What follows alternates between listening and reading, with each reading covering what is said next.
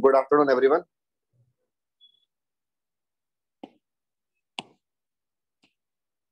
Good afternoon, sir.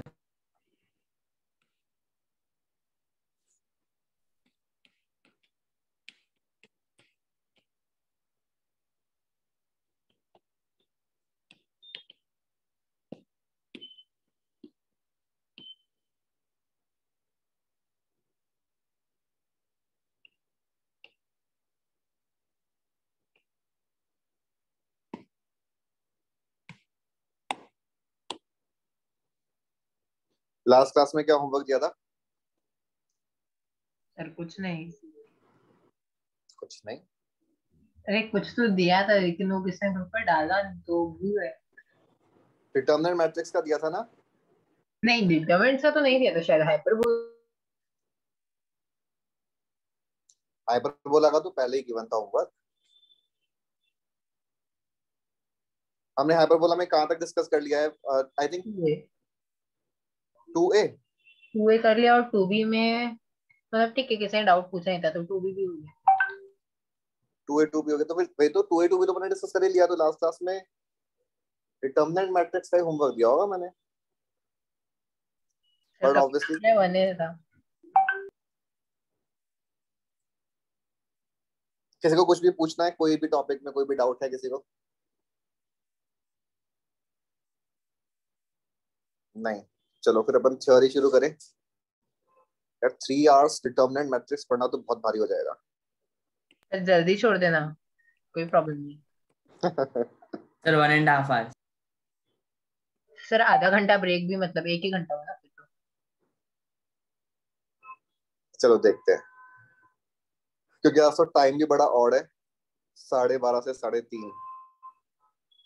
हमने एक बार बताओ लेक्चर नोट्स देख के कि लास्ट क्लास में डिटर्मिनेंट में क्या डिस्कस किया है? सर क्रेमर रूल का three equation three variable system लिखा था लास्ट अच्छा मतलब ओनली थ्योरी लिखा है और हाँ। अरे क्वेश्चन नहीं किया। क्वेश्चन नहीं किया ठीक है। तो क्रेमर्स रूल में अपन ने लास्ट में जो थ्री इक्वेशन थ्री वेरिएबल है एक बार इसको समझना भी नोट कुछ नहीं करना एक बार समझना है।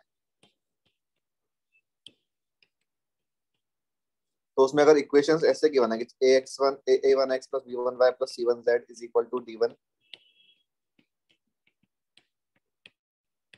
तो टू इक्वेशन टू वेरिएबल का सिस्टम तो हमने लास्ट क्लास में समझ लिया था कि टू इक्वेशन टू वेरिएबल जो है, ये टू डी में टू स्ट्रेट लाइन को रिप्रेजेंट कर रहा है। टू स्ट्रेट लाइंस या तो इंटरसेक्ट करेगी, या पैरेलल होंगी, या कोइंसिडेंट होगी। तो exactly one solution no solution infinite solution ये तो हो गया टू में। अब ये जो सिस्टम है थ्री इक्वेशन थ्री वेरिएबल का, ये थ्री में थ्री प्लेन्स के इक्वेशन को रिप्रेजेंट कर रहा है।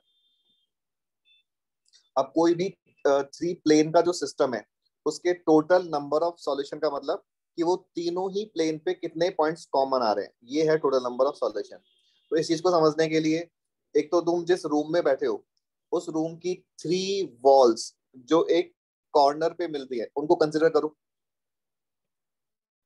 ऐसे होता है ना, अगर मैं टू में ये थ्री वाला डायग्राम बनाऊँ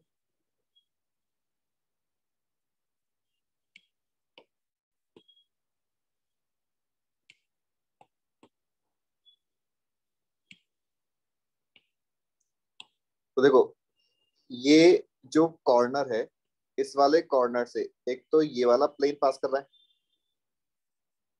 एक ये वाला प्लेन पास कर रहा है। और एक ये वाला प्लेन पास कर रहा है। तो ये थ्री वॉल समझ आ गई? ये तीनों प्लेन एग्जैक्टली exactly एक कॉमन पॉइंट पे इंटरसेक्ट कर रहे हैं। दैट मीन्स थ्री का ये वाला सिस्टम का या तो एक यूनिक सॉल्यूशन हो सकता है। ठीक है? अब हम अगर इस वाले सिस्टम में एक प्लेन तो ये वाला ले लें।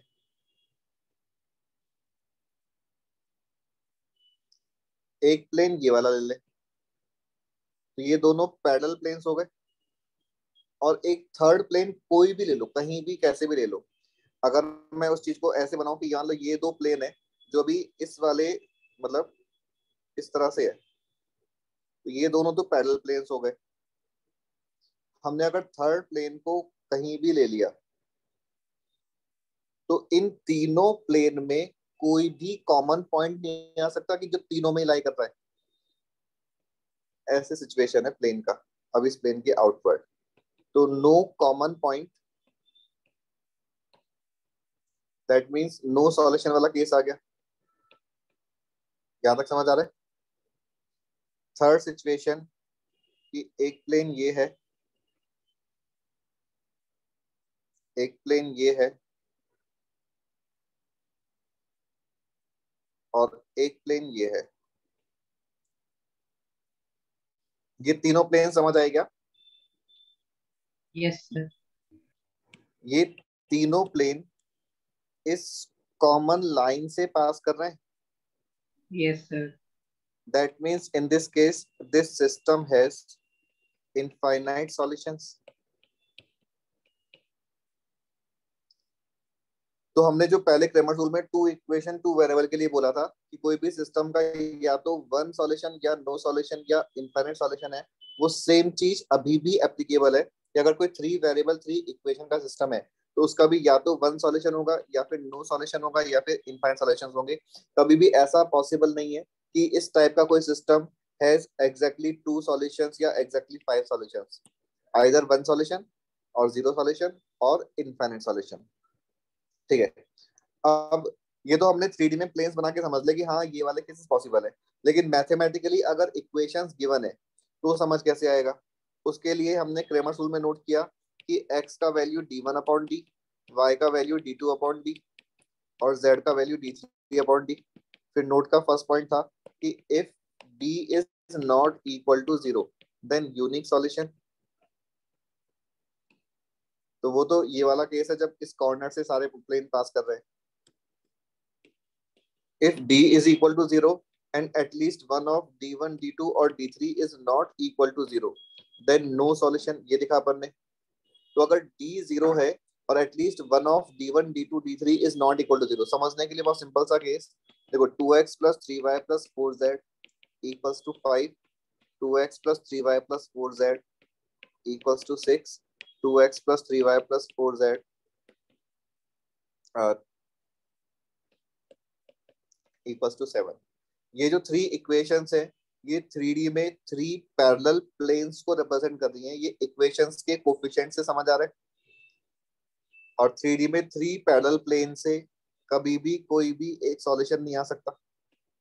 अगर हम इस सिस्टम का डी फाइंड करेंगे तो वो नहीं नहीं नहीं ये वाला केस तो मैंने D one D two D three तीनों ज़ीरो कर दिए। इसको मुझे चेंज करके मान लो, ऐसे लिखा हुआ है।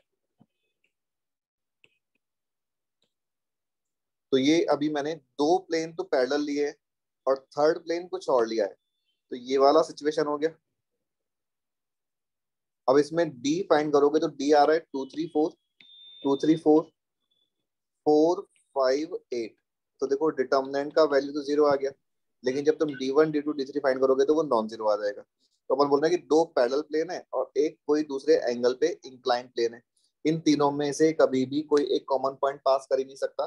तो this system has certainly no solution लेकिन थर्ड सिचुएशन और यहाँ पे थर्ड सिचुएशन ही इंपॉर्टेंट है। थर्ड सिचुएशन में हमने नोट किया कि if D is zero D one is zero D two is zero D three is zero इस केस में unlike two variable two equation system इस केस में हम बोलते हैं आइदर इनफाइनाइट सॉल्यूशंस और नो सॉल्यूशन अगर सारा ही D D D one D two D three सब कुछ ज़ीरो है तो अभी इनफाइनाइट सॉल्यूशंस भी हो सकते हैं और नो सॉल्यूशन भी हो सकता है। ये हमें अभी फर्दर चेक करना पड़ेगा।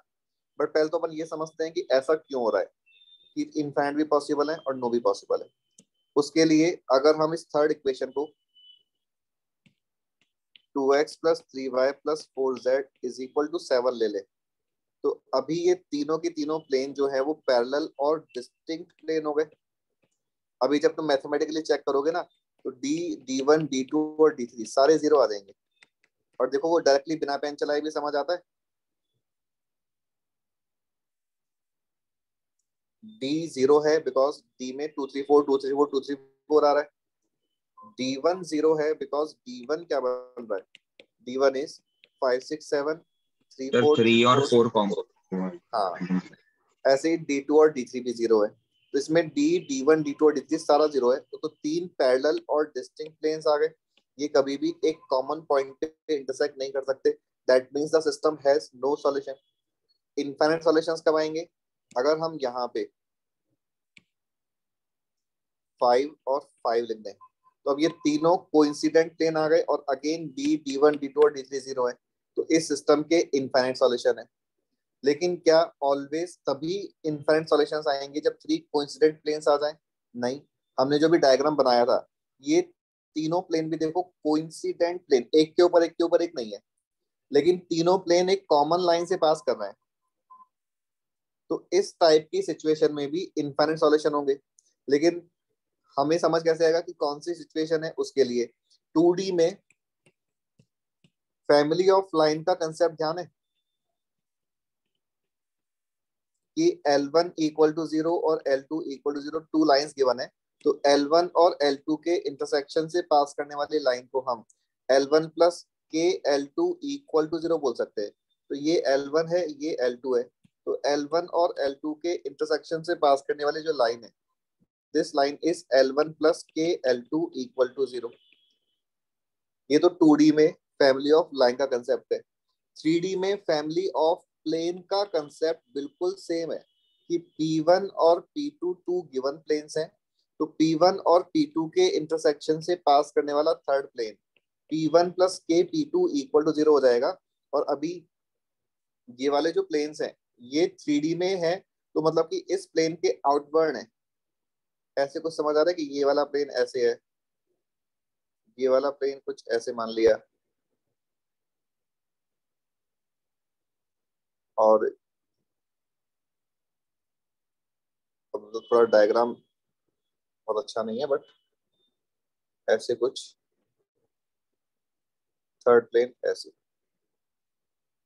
तो ये तीनों एक कॉमन लाइन से पास कर रहे हैं। तो if any plane can be written as a linear combination of remaining two plane, इसका मतलब कि दो three planes are member of same family और सेम फैमिली के मेंबर होने का मीनिंग है कि तीनों प्लेन एक कॉमन लाइन से पास कर रहे हैं। तो यहाँ पे ये P1 प्लेन है, ये P2 प्लेन है और ये P3 प्लेन है।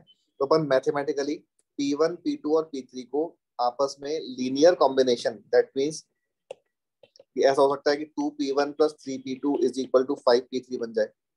अगर ऐसा बन गया तो इसका मतलब कि the system will have infinite solutions ठीक है? अब ये तो हमने अभी तक ये समझा है कि क्रेमर्स रूल में D D one D two और डी थ्री तीनों अगर ज़ीरो हो गए तो फिर इनफाइनाइट सॉल्यूशन या नो सॉल्यूशन क्यों आता है? और अपन लास्ट लेक्चर में यहाँ तक तो लिख लिया था अभी ये अपन ने समझ लिया। लेकिन मेन पॉइंट इज़ कि क्वेश्चन में तो बस नंबर्स और एक्स वाई जेड गिवन होंगे। तो क्वेश्चन सॉल्व करने के लिए एग्जैक्टली exactly क्या करना है? अब वो चीज़ देखते हैं अपन। वो अपन एग्ज़ाम्पल के थ्रू ही समझेंगे। ये सारा मैं हटा देता हूँ। एग्ज़ाम्पल से पहले बस वही है कि फैमिली ऑफ़ प्लेन वाला बात समझ आ गया था। अगर कोई भी दो प्लेन के कॉम्बिनेशन से अपन थर्ड इक्वेशन फॉर्म कर सकते हैं तो वो तीनों प्लेन एक ही फैमिली के मेंबर हैं मतलब कि एक लाइन से पास कर रहे हैं। अच्छा वन मोर थिंग कि अगर मान लो प्लेन्स ऐसे हैं, और ये मतलब इसमें आउटवर्ड प्लेन है, समझ आ रहा है प्लेन्स के सिचुएशन एक प्रिज्म फॉर्म कर रहे हैं प्लेन तो इस सिस्टम के कितने सॉल्यूशंस होंगे? नंबर ऑफ़ सॉल्यूशंस कितने आ रहे हैं इस सिस्टम में? वन ज़ीरो या इनफाइनाइट सर सॉल्यूशन मतलब where all three of them intersect ना? हाँ हाँ तो ज़ीरो ना सर ज़ीरो ज़ीरो क्योंकि ये वाले दोनों प्लेन जो हैं वो इस लाइन पे इंटरसेक्ट कर रहे हैं ये लाइन है समझ आ रहा है? इस प्लेन के आउटवर्ड डायरेक्शन में एक लाइन है। ऐसे ये दोनों प्लेन इस लाइन पे कर रहे हैं ये दोनों प्लेन इस लाइन पे कर रहे हैं लेकिन तीनों प्लेन कोई भी एक कॉमन पॉइंट पे इंटरसेक्ट नहीं कर रहे। That means this system has infinite solution ठीक है? अब हमने क्या किया? इसी सिस्टम में ये ये वाला जो प्लेन है, ये वाला जो प्लेन है, इस प्लेन को मूव करके यहाँ पे रख दिया। यानी कि हम पैरेलली शिफ्ट कर रहे हैं। पैरेलली शिफ्ट करने का मतलब कि हम ओनली कांस्टेंट टर्म को चेंज करेंगे। तो मीनिंग कि 2x plus three Y plus four Z is equal to five अगर ये वाला प्लेन पहले था तो इसको हमने 2x plus three Y plus four Z is equal to eight types बना दिया। तो अगर हमने इस प्लेन को पैरेलली मूव कर दिया तो अभी this system has infinite solutions ये तीनों के तीनों प्लेन ये वाली जो लाइन है, इस लाइन से पास कर रहे हैं। इस चीज़ को हम अभी क्वेश्चन सॉल्विंग में यूज़ करेंगे और कैसे करेंगे, उसके लिए।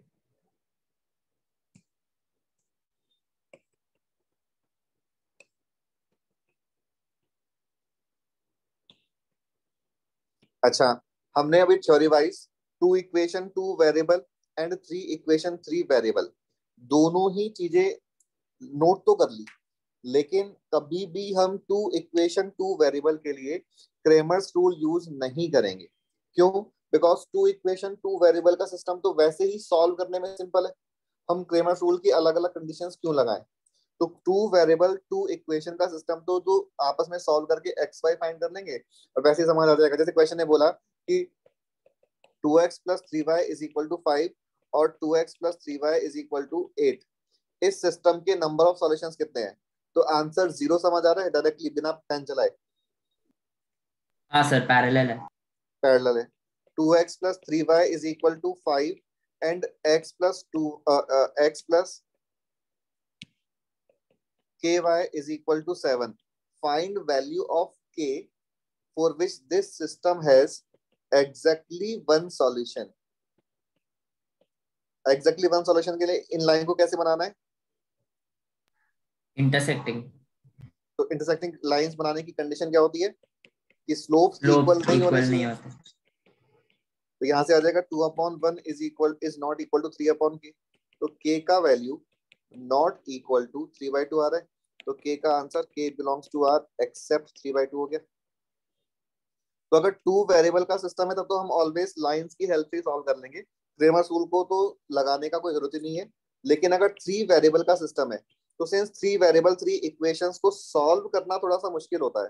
तो हम क्रेमर रूल का यूज़ करेंगे, लेकिन अगर हम क्रेमर रूल में देखें तो जो हमने लास्ट थर्ड पॉइंट लिखा है, उसमें हमने बोला है कि D zero D one zero D two zero D three zero then either infinite solution और नो सॉल्यूशन तो क्रेमर्स रूल बहुत ज़्यादा लेंदी हो गया, क्योंकि हमें D D one D two D three four determinants को सॉल्व करना पड़ेगा और ये चारों डिटर्मिनेंट थर्ड ऑर्डर के हैं। तो इसमें टाइम लगेगा।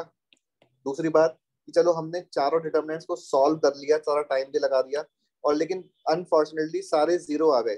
तो हम कंक्लूड नहीं कर पाएँगे कि हमारा आंसर इनफाइनाइट सॉल्यूशन आएगा या नो सॉल्यूशन आएगा। मतलब कि अपन ने खूब सारा टाइम भी लगा लिया तो भी हमें समझ नहीं आ रहा कि जो आंसर है, वो सॉल्यूशन नंबर ऑफ़ सॉल्यूशंस कितने आएँगे। तो हम एग्जैक्टली अब क्वेश्चन सॉल्विंग में क्या करेंगे, ये समझना है। तो उसके लिए मैं पहले एक बार क्वेश्चन लिख रहा हूँ। Find k if system of equations x plus 2y plus 3z is equal to 4 2x plus y minus 2z equals to 5 and 5x plus 4y minus z is equal to k has infinite solutions ठीक है अब इसका solve करने का method देखना कि equations जो हैं,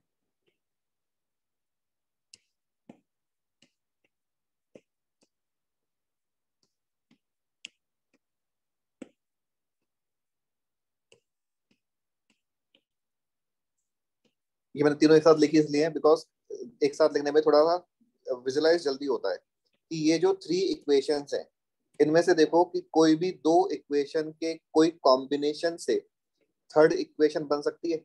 कॉम्बिनेशन का मतलब कि some number into first equation plus some other number into second equation equal to some number equal to third equation ऐसे बन जाए। तो ये चीज़ पहले हिट एंड ट्रायल से सोचना है कि ऐसा बन सकता है क्या? बताओ अगर बन रहा है तो। सर और 1 अगर- plus 2 into 2 one into one plus two into two मतलब वापस से बोलना क्या? सर टू को टू से मल्टीप्लाई करते और फिर ऐड करते तो बन जाए हाँ that means equation number one plus double of equation number two अगर हम ये लिखेंगे तो ये five x plus four y minus z is equal to fourteen बन गया। यहाँ तक समझ आ गया?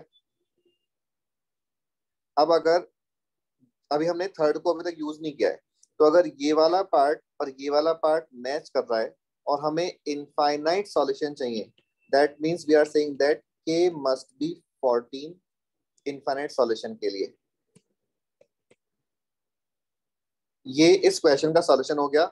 हमने कहीं भी क्रेमर रूल यूज़ नहीं किया, लेकिन इसका मतलब ये बिल्कुल नहीं है कि क्रेमर रूल यूज़ करने की कभी ज़रूरत ही नहीं पड़ेगी लेकिन हमने कहा कि फ़र्स्ट पॉइंट क्वेश्चन सॉल्व करने का ऑब्जर्वेशन कि ऑब्जर्वेशन से अगर ये समझ आ गया कि कोई भी टू इक्वेशन के कॉम्बिनेशन से थर्ड इक्वेशन बन रहा है। तो फिर हम उस मेथड से सॉल्व कर लेंगे बिकॉज़ इस मेथड में सबसे कम कैलकुलेशन होगी। लेकिन इस मेथड के साथ प्रॉब्लम ये है कि ऑब्जर्वेशन हमेशा अपन लगा लें, ये ज़रूरी नहीं है। तो अगर ये समझ आ गया तो वेल एंड गुड समझ नहीं आया तो अपन आगे बताएँगे क्या करेंगे। बट अभी इस सिचुएशन में इन्फाइनाइट सॉल्यूशंस के लिए के का आंसर 14 आ गया। अब इसका एक्सप्लेनेशन कि ऐसा क्यों हो रहा है? कि हमने अभी बोला ही था कि अगर P1 one plus two p two equal to p three है तो इसका मतलब कि P1 और P2 से जो फैमिली ऑफ़ प्लेन बनेगा, उसी लाइन से ये थर्ड वाला प्लेन पास कर रहा होगा। तो ये तीनों प्लेन एक कॉमन लाइन से पास कर रहे हैं। मैं इस चीज़ को अगर टू में बनाऊँ तो एक प्लेन ये है, एक प्लेन ये है और थर्ड प्लेन ये बन रहा है और जो लाइन है वो इस प्लेन के आउटवर्ड डायरेक्शन में है। कॉमन लाइन से पास कर रहे हैं मतलब कि उस लाइन पे लाई करने वाले सारे पॉइंट कॉमन पॉइंट्स हो गए और एक लाइन पे इनफाइनाइट पॉइंट्स लाई करते हैं। Therefore this system has infinite solution अब तुम लोग मुझे बताओ कि अगर क्वेश्चन ने इनफाइनाइट की जगह नो सॉल्यूशन पूछा होता तो के का आंसर क्या आता? R minus fourteen R except fourteen अगर हमने के को 14 की जगह कुछ भी रख दिया इसका मतलब कि हमने इस वाले प्लेन को शिफ्ट करके यहाँ रख दिया। के चेंज कर रहे हैं मतलब कि कांस्टेंट चेंज कर रहे हैं। तो प्लेन पैरेलली मूव करेगा। और अगर प्लेन पैरेलली मूव कर गया तो इस सिस्टम में कोई भी कॉमन पॉइंट नहीं आ रहा। तो अगर क्वेश्चन ने नो सॉल्यूशन भी बोला होता तो भी हम अपना आंसर इसी मेथड से बता सकते हैं।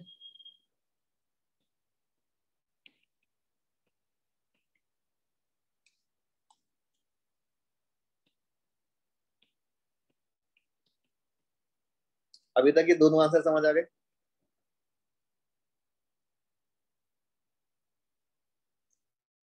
अब अगर मान लो ऑब्जर्वेशन से हमें ये नहीं समझ आता कि क्या equation number one equation number two को किससे मल्टीप्लाई करें, क्या करें तो हम ऐसा कर सकते हैं कि हमने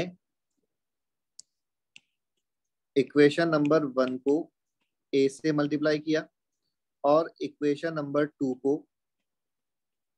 बी से मल्टीप्लाई किया। और फिर करस्पॉन्डिंग कोफिशिएंट्स को कंपेयर कर लिया। तो देखना, x के कोफिशिएंट्स को मैं कंपेयर कर रहा हूँ तो ये a plus two b equal to five और two a plus b equal to four only x और y के कोफिशिएंट को मैंने कंपेयर किया। Two equation two variable solve करना तो बड़ा सिंपल होता है।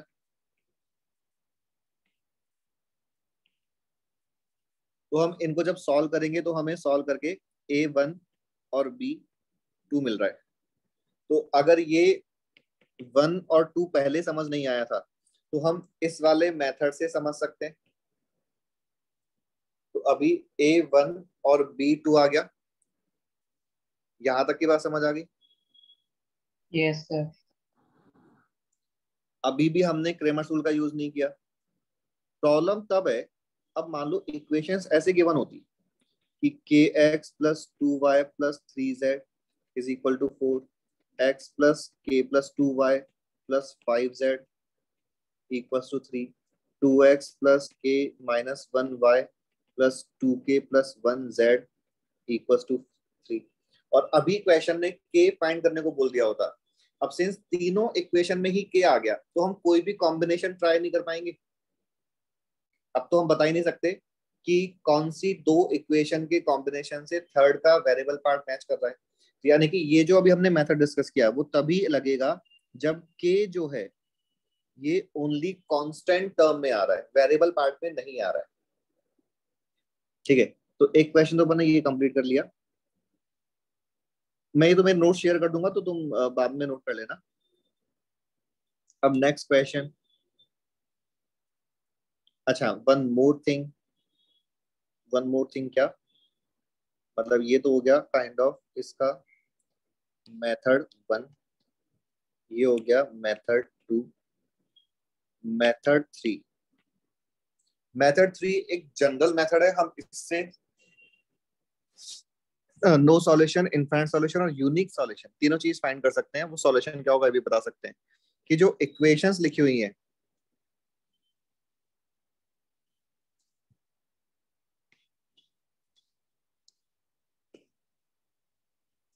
इन इक्वेशंस में से हमने क्या किया? इन दोनों इक्वेशन को लिया और कुछ z को t मान लिया। तो ये वाली दोनों इक्वेशन अब बन जाएँगी। x plus two y is equal to four minus three t and two x plus y is equal to five plus two t अब इस सिस्टम को टू इक्वेशन टू वेरिएबल की तरह सॉल्व कर लो। तो उसको सॉल्व करने के लिए हमने फ़र्स्ट इक्वेशन सेकंड इक्वेशन को टू से मल्टीप्लाई किया। और डिफरेंस लिया तो ये बन जाएगा three x is equal to seventy plus six तो x का वैल्यू सेवनटी प्लस सिक्स आ रहा है सिक्स अपॉन थ्री आ रहा है। x का वैल्यू फाइंड कर लिया तो y का value five plus two t minus two seventy plus six upon three से। ये हो गया three into two six minus fourteen minus eighty और fifteen minus twelve plus three तो y का वैल्यू ये आ रहा है और z का वैल्यू हमने t बोले रखा था। तो हमने in terms of t, x और y को फाइंड कर लिया। अब इसको थर्ड इक्वेशन में पुट किया। तो फाइव एक्स फोर वाई एक बार मेरी कैलकुलेशन और देख लेना, अगर कोई मिस्टेक है तो बताना। थर्ड इक्वेशन ये है। इसको सिंप्लीफाई किया तो thirty five minus thirty two minus three t देखो जब एल्सियम लिया लेफ़्ट साइड में तो सारा के सारा टी कैंसिल हो रहा है। कांस्टेंट जो है, वो आ रहा है thirty plus twelve forty two constant आ रहा है फोर्टी टू सर उधर माइनस थ्री रहना चाहिए वाई के अंदर। Minus eighty minus three okay right right right plus three आ रहे हाँ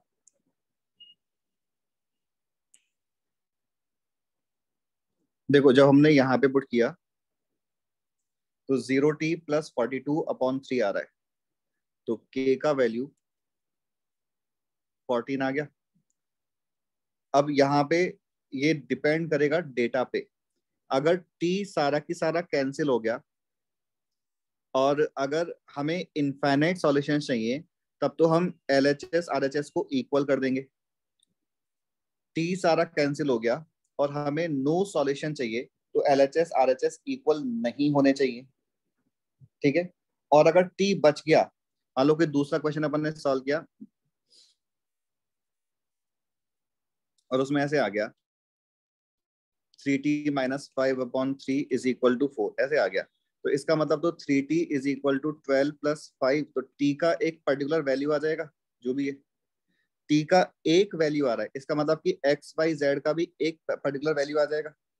तो that system has unique solution तो अगर हम इस मेथड से सॉल्व कर रहे हैं तो हमने क्या बोला कि कोई भी टू इक्वेशंस ले लो, कोई भी एक वेरिएबल को कुछ टी मान लो रिमेनिंग दोनों वेरिएबल को in terms of t solve कर लो।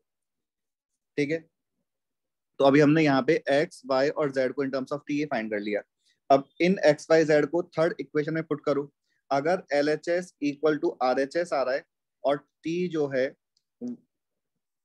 वो कैंसिल हो रहा है तो इसका मतलब हो जाएगा इनफाइनाइट सॉल्यूशन टी कैंसिल हो रहा है, लेकिन three equal to five types कुछ आ रहा है।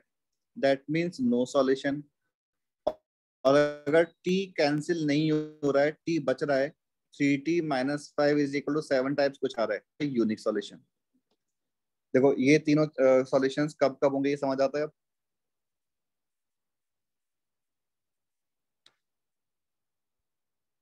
तो ये तो केस वन हो गया मतलब टाइप ऑफ़ क्वेश्चन वन हो गया। जब सारा वेरिएबल पार्ट गिवन नंबर्स के टर्म में है, कुछ भी उसमें के नहीं है अगर के नहीं है तो हम ऐसे ही सॉल्व करेंगे। First method by observation second method calculation और थर्ड मेथड ये वाली कैलकुलेशन सर सर आप सेकंड मेथड हाँ। आप समझा सकते हो? सेकंड मेथड मैंने कहा कि हमें ऑब्जर्वेशन से नंबर नहीं समझ आ रहे थे कि किसको किस मल्टीप्लाई करके एड सब्ट्रैक्ट करें। तो फिर हमने मान लिया कि फ़र्स्ट इक्वेशन को ए फ़र्स्ट इक्वेशन को कुछ तो हमने और ये एक्स का कोफिशिएंट कंपेयर किया। X का कोफिशिएंट कंपेयर किया तो देखो a plus two b is equal to five समझ आ गया? यस सर corresponding coefficients कि y का लिखा two two a b equals to four आ जाएगा। इन दोनों से हमने ए और बी फाइंड कर लिया। दोनों से जो ए और बी आया, उन कर लिया कि कोफिशिएंट ऑफ़ z मैच कर रहा है कि नहीं कर रहा।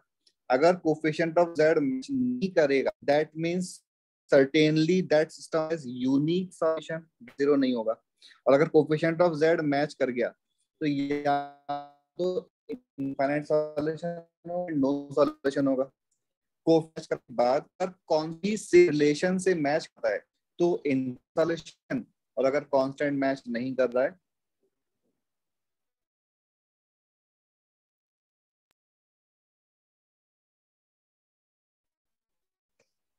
कोएफिशिएंट ऑफ़ z अगर दोनों में नहीं कोफिशिएंट ऑफ़ z पहले डिफरेंट है।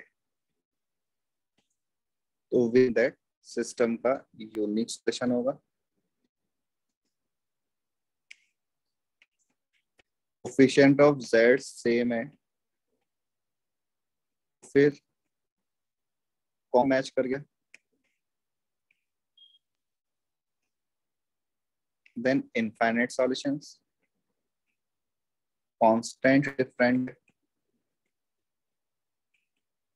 then no solution चीज़ समझाने के लिए मैं एक एग्ज़ाम्पल लिख रहा हूँ।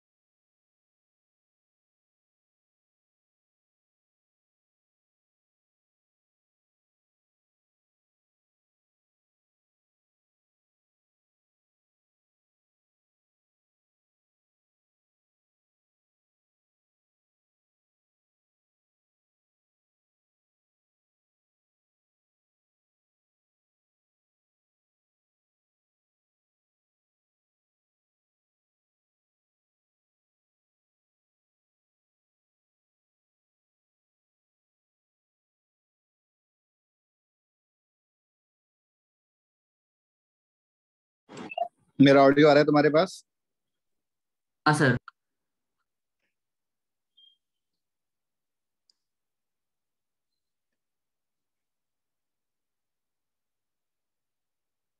लास्ट में एक बार अभी देखना। डिस्कनेक्ट कब हुआ था बताना। ये क्वेश्चन तक तुमने देखा था क्या? नहीं सर हमने क्वेश्चन नहीं देखा। हाँ सर Okay. ये तो अभी अपन आप ये ये लिख रहे थे। ओके तो हमने कहा था कि कोफिशिएंट ऑफ़ जेड अगर मतलब ये जो ए बी सी वाला मेथड है, इसमें अपन ने ओनली ये रहा। इसमें अपन ने ओनली एक्स और वाई के कोफिशिएंट को कंपेयर किया तो उनसे फिर ए और बी का वैल्यू आ गया। फिर हम कोफिशिएंट ऑफ़ जेड को चेक करेंगे कि वो मैच कर रहा है कि नहीं कर रहा। तो डिफरेंट सिचुएशंस क्या क्या हो सकती हैं? कि कोफिशिएंट ऑफ़ जेड मैच नहीं कर रहा, इसका मतलब तो यूनिक सोल्यूशन हो जाएगा। कोफिशिएंट ऑफ़ जेड भी मैच कर गया सेम रिलेशन के अकॉर्डिंग तो फिर अपन उसके बाद कांस्टेंट चेक करेंगे। अगर कांस्टेंट भी मैच कर रहा है तो इनफाइनाइट सॉल्यूशन कांस्टेंट डिफरेंट आ रहा है तो नो सॉल्यूशन ठीक है? अब एक बार तुम लोग इस वाले इक्वेशन में, इस सिस्टम में देखो, पहले तो भाई ऑब्जर्वेशन ट्राई करो कि कोई भी दो इक्वेशन के कॉम्बिनेशन से थर्ड बन रहा है क्या?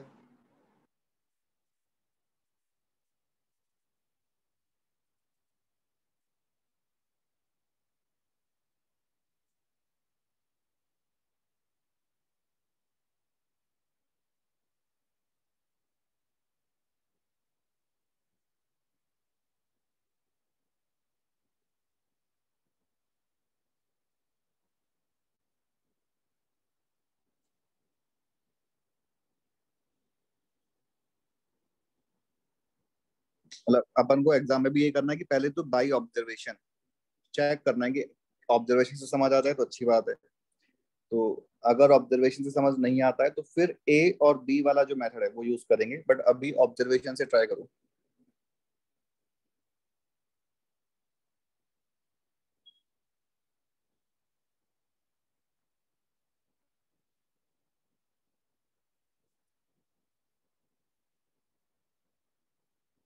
नहीं आया किसी को समझ? नहीं सर। तो फिर अब हम जो ए और बी वाला मेथड है वो ट्राई करेंगे कि इक्वेशन नंबर वन को ए से और इक्वेशन नंबर टू को बी से मल्टीप्लाई करके और फिर कोफिशिएंट्स मैच करेंगे। तो एक्स का कोफिशिएंट के लिए क्या इक्वेशन बना? सो ऑब्जर्वेशन से एक आंसर आया। बोलो क्या? फ़र्स्ट वाले इक्वेशन को थ्री से मल्टीप्लाई करके और सेकंड को टू से मल्टीप्लाई करके सब्ट्रैक्ट करना करेक्ट है।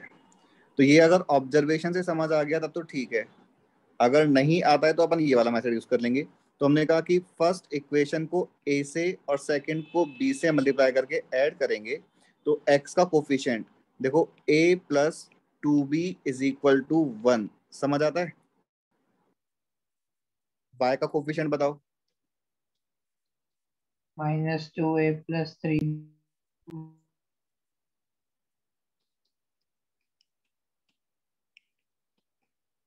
इन दोनों को जब सॉल्व करोगे तो ए का वैल्यू थ्री और बी का वैल्यू माइनस टू आ जाएगा। और ये चीज़ या तो ऑब्जर्वेशन से आ जाए या फिर कैलकुलेशन से आ जाए। अब हमने कहा कि ए और बी तो थ्री और माइनस टू आ गया। अब हम जेड का कोफिशिएंट चेक करेंगे। जेड का कोफिशिएंट चेक किया। तो ये four a plus b equal to minus ten बनना चाहिए। अगर माइनस टेन बन गया तो मतलब कि मैच कर गया तो फोर ए प्लस बी का मतलब हो गया four into three.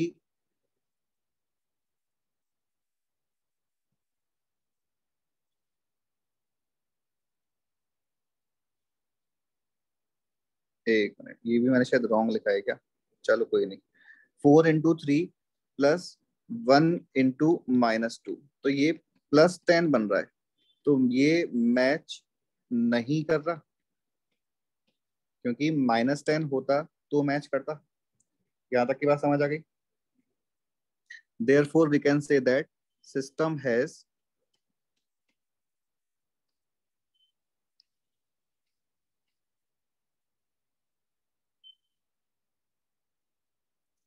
one minute ये रॉन्ग बोला है। सर एक्स का कोएफिशिएंट उससे वो नहीं हो रहा है ना? ये आंसर जो है वो माइनस थ्री और प्लस टू आ रहे हैं।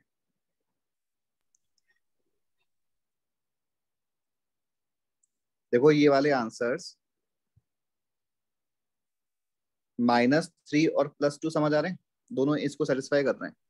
तो अभी ये हाँ। मैच अब ये मैच कर रहा है हाँ। तो देखो ये माइनस और ये प्लस तो ये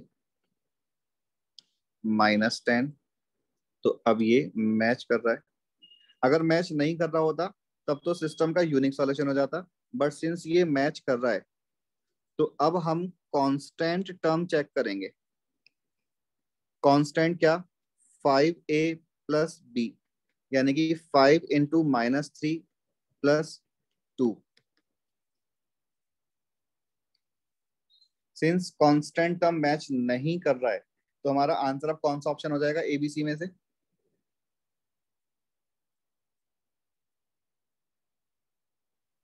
सर कांस्टेंट चेंजिंग हो रहा है मतलब तो नो सॉल्यूशन आएगा ना? बी हुआ ना। नो सॉल्यूशन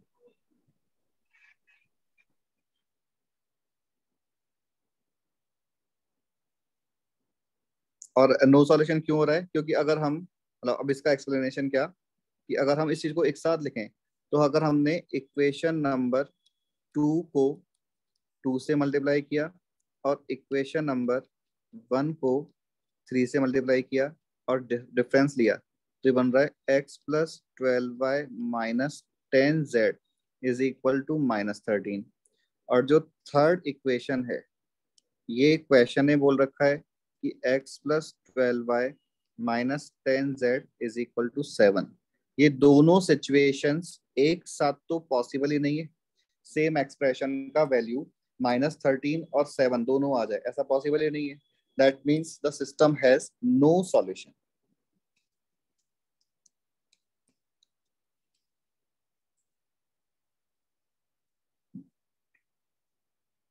देखना ये अभी बात समझ आई क्या? किसी को कुछ पूछना है तो एक बार डिस्कस कर लो फिर आगे नेक्स्ट क्वेश्चन करते हैं।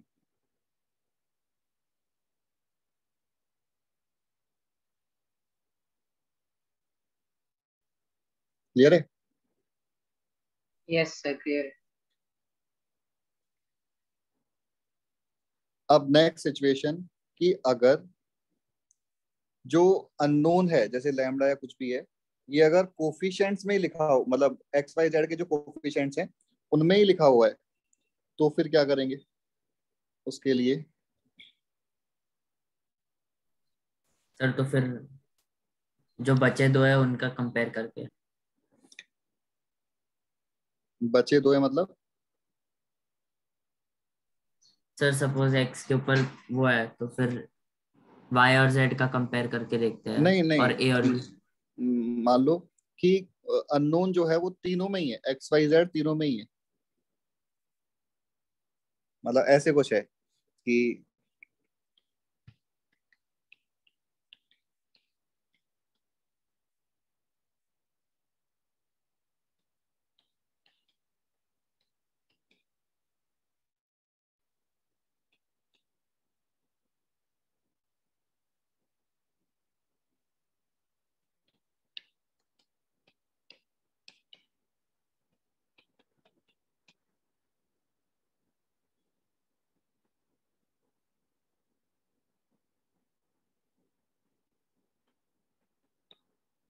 सर यहाँ पे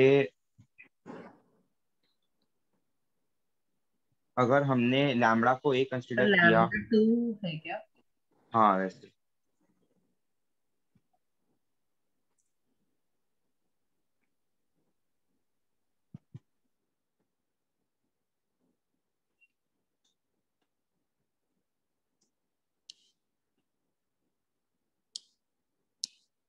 ऑल्दो अभी थोड़ी कैलकुलेशन लेंदी हो जाएगी। देखो लैम्डा टू तो तुम्हारा सिर्फ़ एक ही आंसर आ रहा है वो ऑब्जर्वेशन से। लेकिन जब तुम डिटर्मिनेंट को सॉल्व करोगे तो लैम्डा के थ्री आंसर्स आएँगे। तो क्यूबिक सॉल्व करना पड़ेगा। तो मैं उस क्यूबिक को थोड़ा सिंपल कर दूँ क्योंकि क्वालिटी की सॉल्व करना पड़े। तो मैं डेटा चेंज कर देता हूँ। और अभी ऐसे लिख लिया अपन ने।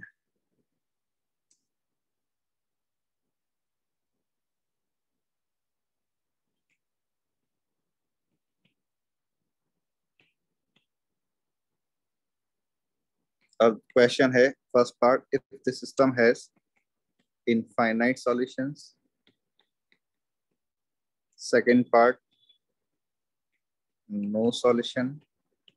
Third part, unique solution. ठीक है? अब ये जो क्वेश्चन है, इसमें क्या हो रहा है कि कोफिशिएंट्स में तीनों ही इक्वेशन में लैम्डा आ रहा है। तो जो पहले वाला मेथड था, वो तो अपन लगा नहीं पाएँगे। हिट एंड ट्रायल से सॉल्व करने से ये कंफर्म नहीं होगा कि ओनली जो, जैसे भाई लैम्डा का टू बोला था तो ओनली लैम्डा टू ही आएगा, ये नहीं है। लैम्डा का एक और वैल्यू आएगा। लेकिन जो लैमडा का एक और वैल्यू आएगा, उस सिचुएशन में इनफरेंट सॉल्यूशंस आएँगे या नो सॉल्यूशंस आएँगे। ये चीज़ अपन को फिर फर्दर चेक करनी पड़ेगी। तो ऐसे क्वेश्चंस को सॉल्व करने का मेथड क्या? कि हम सबसे पहले क्रेमर्स रूल के अकॉर्डिंग डी यानी कि डिटर्मिनेंट तो फाइंड करेंगे।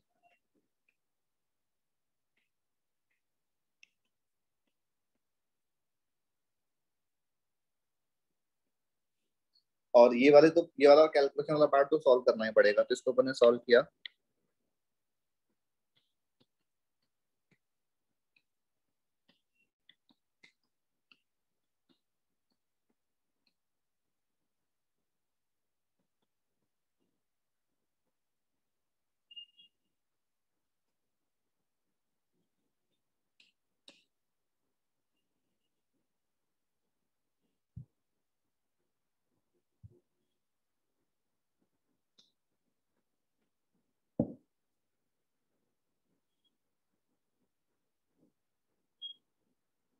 मेरी कैलकुलेशन कहाँ गलत है?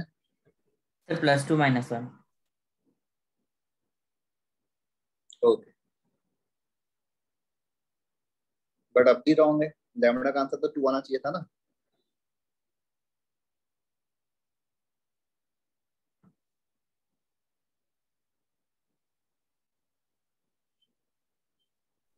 माइनस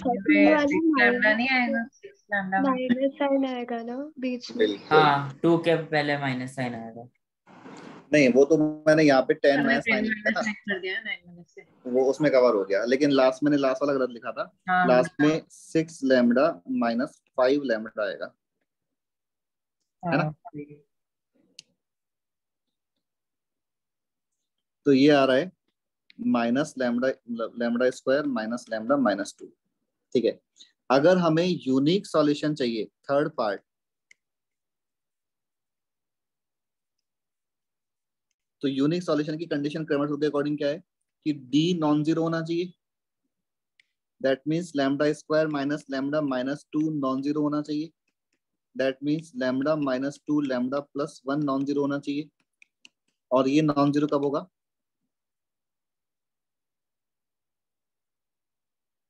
बोलो लैम्डा का आंसर माइनस टू और माइनस आर का वैल्यू टू और माइनस वन दोनों ही नहीं हो सकते?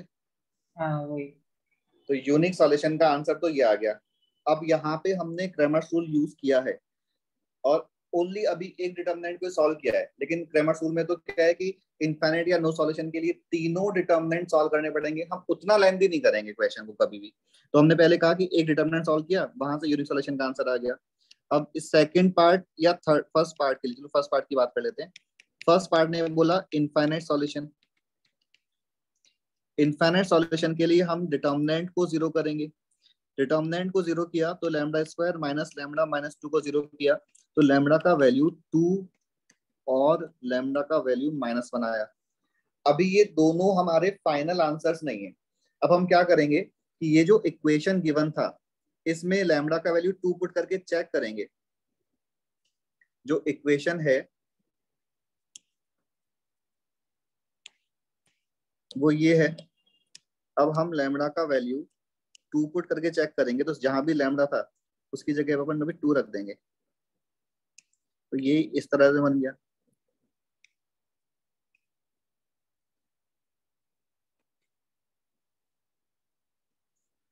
अब देखो इन दोनों को ऐड करने से ये इक्वेशन एग्जैक्टली मैच कर रहा है। तो लैमडा इक्वल्स टू टू के लिए इनफाइनाइट सॉल्यूशंस हो गए।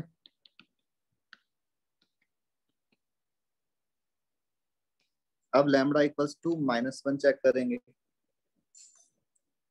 uh, एक मिनट के लिए होल्ड करना मैं भी एक मिनट में आता हूँ।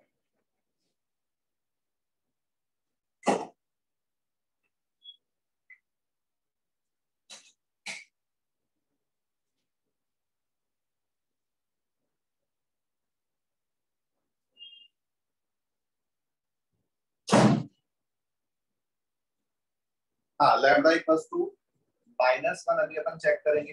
तो lambda equals two minus one पे ये इक्वेशन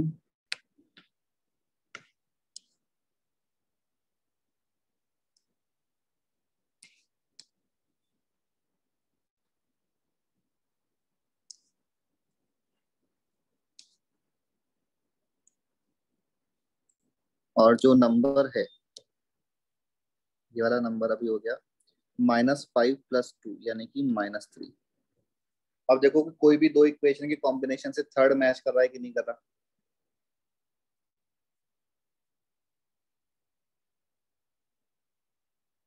अगर हम इन दोनों को अगेन ऐड करें तो क्या बनेगा? नहीं.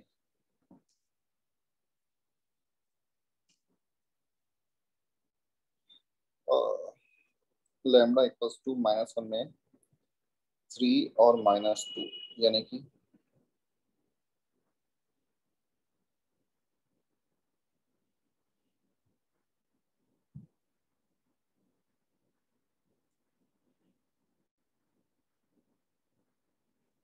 चलो, अगर अपन को इससे समझ नहीं आ रहा कि नंबर क्या आ रहे हैं तो हम ए बी सी वाला मेथड लगा लेंगे। तो कोफिशियंट ऑफ़ ए कंपेयर किया तो minus a plus three b is equal to five coefficient of x compare किया। कोफिशियंट ऑफ़ वाई कंपेयर किया तो two a minus b is equal to minus two इन दोनों को सॉल्व करने के लिए फ़र्स्ट को टू से मल्टीप्लाई करके ऐड किया।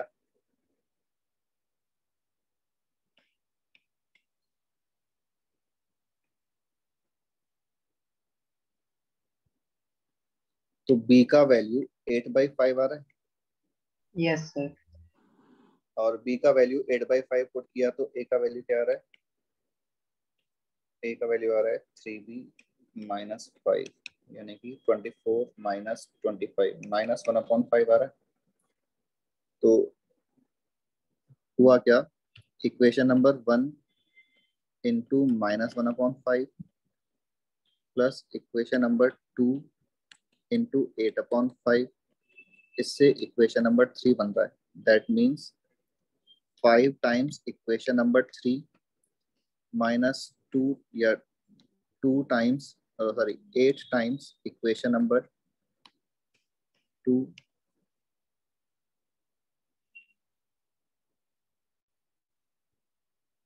minus one time equation number one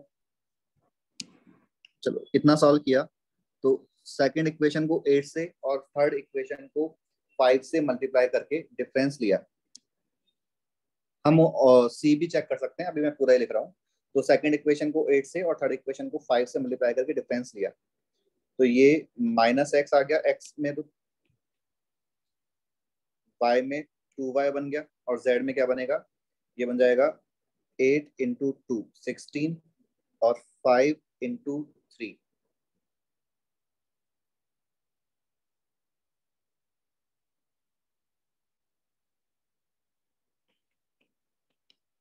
seven into eight fifty six और minus three into minus five fifty six और फिफ्टीन कुछ बड़ा ही नंबर हो गया। फिफ्टी सिक्स हाँ मतलब हाँ तो अभी वेरिएबल पार्ट तो एग्जैक्टली exactly मैच कर रहा है लेकिन कांस्टेंट मैच नहीं करता। तो इसका मीनिंग क्या हुआ कि lambda equals two minus one के लिए नो सॉल्यूशन आएगा। यस सर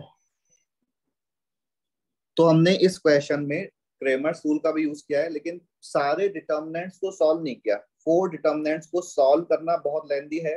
सॉल्व करने के बाद भी कंफ्यूजन है कि आंसर में नो uh, सॉल्यूशन no आएगा या इनफाइनाइट सॉल्यूशन आएगा। तो हमने कहा कि ओनली फ़र्स्ट डिटर्मिनेंट यानी कि कोफिशिएंट वाला डिटर्मिनेंट को सॉल्व करो। वो अगर नॉन ज़ीरो है तो कंफर्म है कि यूनिक सॉल्यूशन आएगा। वो अगर ज़ीरो है तो या तो इनफाइनाइट सॉल्यूशन आएगा या नो सॉल्यूशन आएगा। तो हमने ज़ीरो करके लैम्डा का वैल्यू फाइंड कर लिया। ज़ीरो करके लैम्डा का वैल्यू फाइंड किया तो लैम्डा इक्वल टू टू के लिए तो तीनों इक्वेशन का कॉम्बिनेशन एग्जैक्टली मैच कर गया था with constant that means infinite solution आ गए। Lambda equals two minus one के लिए ओनली वेरिएबल पार्ट ही मैच कर रहा है और कांस्टेंट मैच नहीं कर रहा। मतलब कि lambda equal to minus one के लिए नो सॉल्यूशन आ जाएगा। तो अभी ये तीनों पार्ट समझ आए क्वेश्चन के? यस सर अभी तो ये वाला क्वेश्चन जो है थोड़ा कैलकुलेशन मतलब क्वेश्चन जे वाला ऐसे कभी तीनों केस नहीं पूछेगा। तो क्वेश्चन ने मान लो ये पूछा होता कि find value of lambda for which this system has no solution तो अपन ओनली थर्ड वाला पार्ट सॉल्व कर लेते। यस अब जैसे अब मैं तुम्हें एक क्वेश्चन दे रहा हूँ। अब ये क्वेश्चन तुम्हें ट्राई करना है।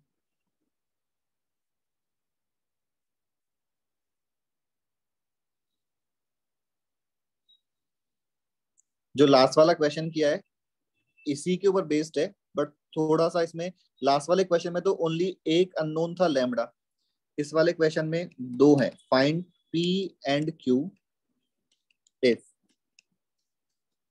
system two x plus p y plus six z is equal to eight x plus two y plus q z is equal to five x plus y plus 3z is equal to 4 और वही three question है if this system has unique solution second question if this system has infinite solutions and third question the system has uh, no solution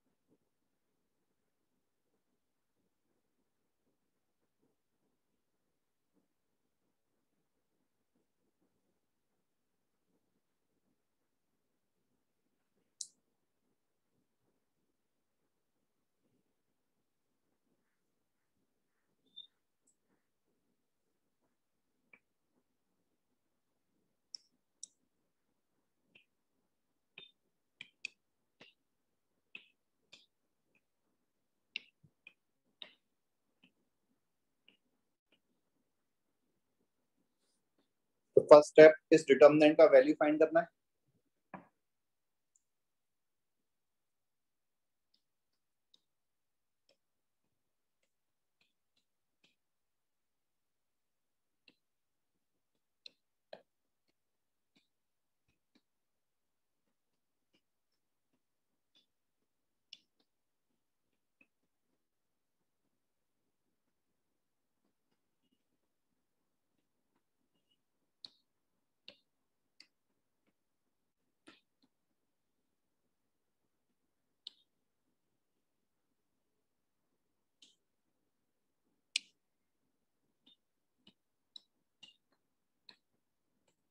ठीक है ना जो determinant का expression जो आ रहा है वो फैक्टराइज हो रहा है और p माइनस टू और q माइनस थ्री इसके फैक्टर्स बन रहे हैं।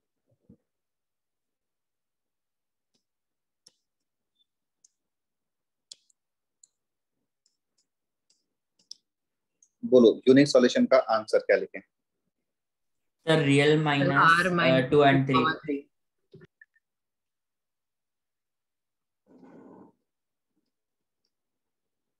two and नहीं अभी तो पी और क्यू अलग अलग है ना तो हमें बोलना होगा कि p is not equal to two and q is not equal to हाँ सर हाँ ये तो हो गया यूनिक सॉल्यूशन के लिए। ठीक है। अब सेकंड एंड थर्ड पार्ट में कि नो और इनफाइनाइट सॉल्यूशन दोनों ही सिचुएशन में हम डिटर्मिनेंट का वैल्यू ज़ीरो करेंगे। डिटर्मिनेंट ज़ीरो करने से पी का वैल्यू टू और q का वैल्यू थ्री मिलेगा। अब यहाँ पे और वर्ड है। तो हम अब इसको फर्दर एनालाइज करेंगे कि p इक्वल टू टू पे क्या हो रहा है। तो p इक्वल टू टू जब इस इक्वेशन में पुट किया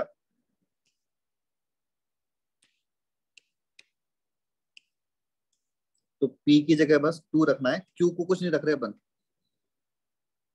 बताओ देख के क्या हो रहा है सिस्टम के कितने सॉल्यूशन आ रहे हैं।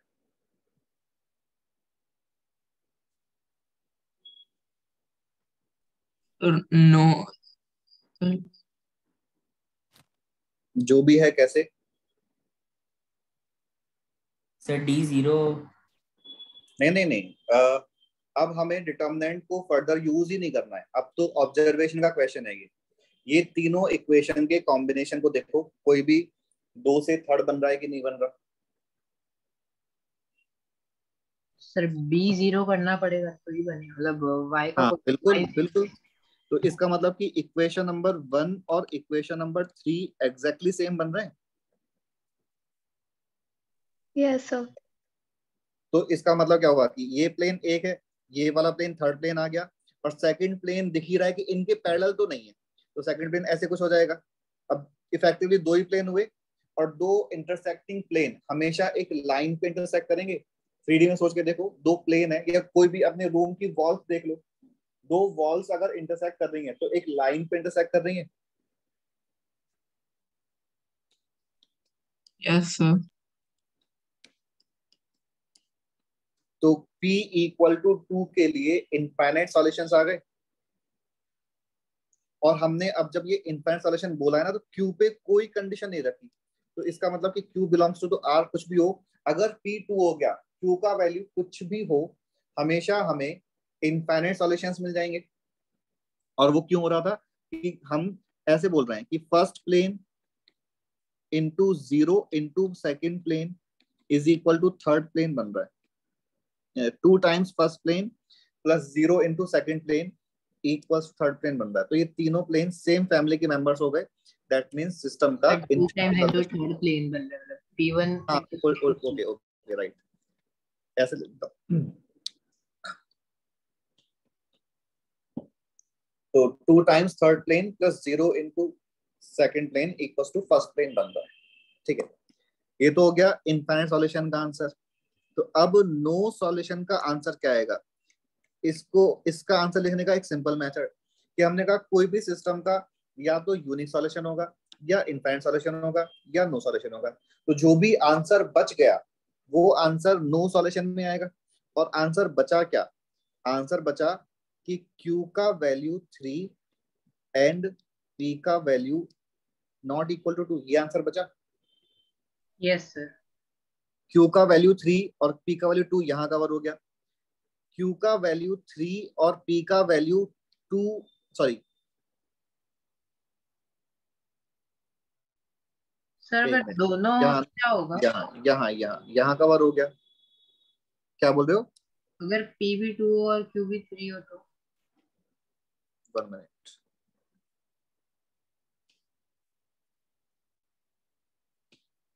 हाँ अगर P P two and Q three तो ये वाली चीज़ यहाँ पे कवर हो रही है? नो अच्छा हाँ नो इनफाइनाइट सॉल्यूशंस आ जाएँगे। हम तो बोलते हैं कि P बस टू हो जाए। अब Q कुछ भी हो हाँ. अगर P टू हो गया तो इनफाइनाइट सॉल्यूशन है। तो बचा आंसर क्या कि Q is equal to three and P is not equal to two इस केस में नो सॉल्यूशन है। ठीक है? अगर ये बचा हुआ आंसर समझ नहीं आ रहा और इस चीज़ को अपन नंबर्स की टर्म में समझे। तो जो इक्वेशन है, वो ये थी। इसमें हम अब Q का वैल्यू थ्री रख दें और P का वैल्यू टू रख दें। तो देखो, ये दोनों सर पी का वैल्यू टू नहीं रखना था ना। P का वैल्यू टू नहीं रखना है। ओके राइट Q का वैल्यू थ्री रख दें। तो देखो, इन दोनों से ये जो फ़र्स्ट और थर्ड इक्वेशन है, हमने क्या किया? Equation number one minus two times equation number three ये वाला कैलकुलेशन किया तो P minus two y is equal to zero आ रहा है। समझ आ गया क्या? अगर इसकी पॉसिबिलिटीज क्या है? या तो P टू हो जाए, या फिर Y ज़ीरो हो जाए। अगर हम Y को ज़ीरो मानते हैं तो जो सेकंड इक्वेशन है, वो बन गई x plus three z equal to five और थर्ड इक्वेशन y को ज़ीरो कब मानेंगे? मतलब एक बार देखना तुमको यहाँ तक की बात समझ आ गई? अरे सर हाँ, नहीं तो नहीं बोल नहीं समझा अगर हम लाइन ये थ्री इक्वेशन तक समझ आ गया हमने q की वैल्यू को थ्री फिक्स कर लिया। हाँ। अब हमने equation number one minus two times equation number three को सॉल्व किया। हाँ। तो okay okay okay. X cancel हो गया और जेड कैंसिल हाँ तो इसका मतलब क्या है कि या तो p minus two equal to zero हो जाए या फिर y ज़ीरो हो जाए यही तो मीनिंग है।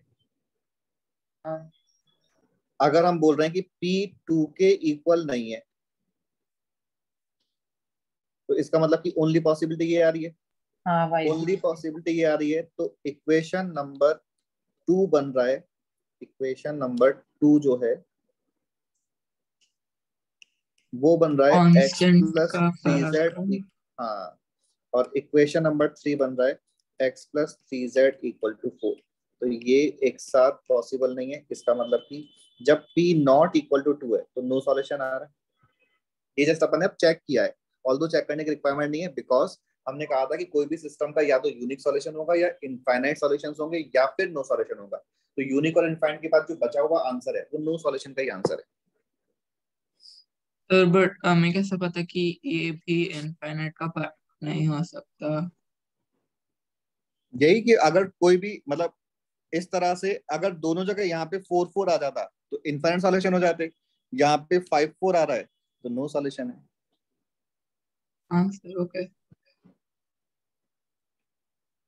तो ये क्रेमर्स रूल का पूरा मेथड है। तो हमने कहा कि फ़र्स्ट टाइप के क्वेश्चन जिसमें कांस्टेंट जो है सॉरी मतलब जो अननोन के है, वो ओनली कांस्टेंट में है। तो उसको तो अपन इस तरह से सॉल्व कर लेंगे। सेकंड टाइप के क्वेश्चन कि अननोन जो है, वो कोफिशिएंट्स में भी इन्वॉल्व है। तो फिर हमें डिटर्मिनेंट सॉल्व करना पड़ेगा और कोफिशिएंट और डिटर्मिनेंट सॉल्व करने के बाद क्रेमर रूल के अकॉर्डिंग यूनिक सॉल्यूशन के लिए डी ज़ीरो और इनफाइनाइट या नो सॉल्यूशन के लिए सॉरी यूनिक सॉल्यूशन के लिए डी नॉन ज़ीरो और इनफाइनाइट या नो सॉल्यूशन के लिए डी ज़ीरो करेंगे। डी ज़ीरो करने के बाद जो लैमडा की वैल्यूज़ हैं, वो आंसर नहीं है, उनको फर्दर चेक करना पड़ेगा कि कौन सी सिचुएशन में इनफाइनाइट कौन सी सिचुएशन में नो सॉल्यूशन है।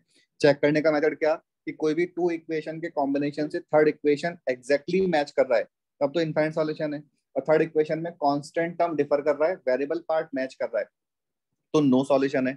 और अगर कोई दूसरे क्वेश्चन में कोई भी दो इक्वेशन के कॉम्बिनेशन से वेरिएबल पार्ट कभी मैच ही नहीं कर रहा कोई भी कॉम्बिनेशन ले लिया, और वेरिएबल पार्ट कभी भी मैच नहीं कर रहा। दैट मीन्स यूनिक सॉल्यूशन होगा डिटर्मिनेंट नॉन ज़ीरो होगा उस केस में। और लास्ट वाले दोनों क्वेश्चन इसी पे बेस्ड थे। तो हमने कहा कि डिटर्मिनेंट फाइंड किया यूनिक सॉल्यूशन के लिए डी नॉन ज़ीरो किया नो और इनफाइनाइट सॉल्यूशन के लिए डी ज़ीरो किया, और फिर फर्दर उसको चेक किया।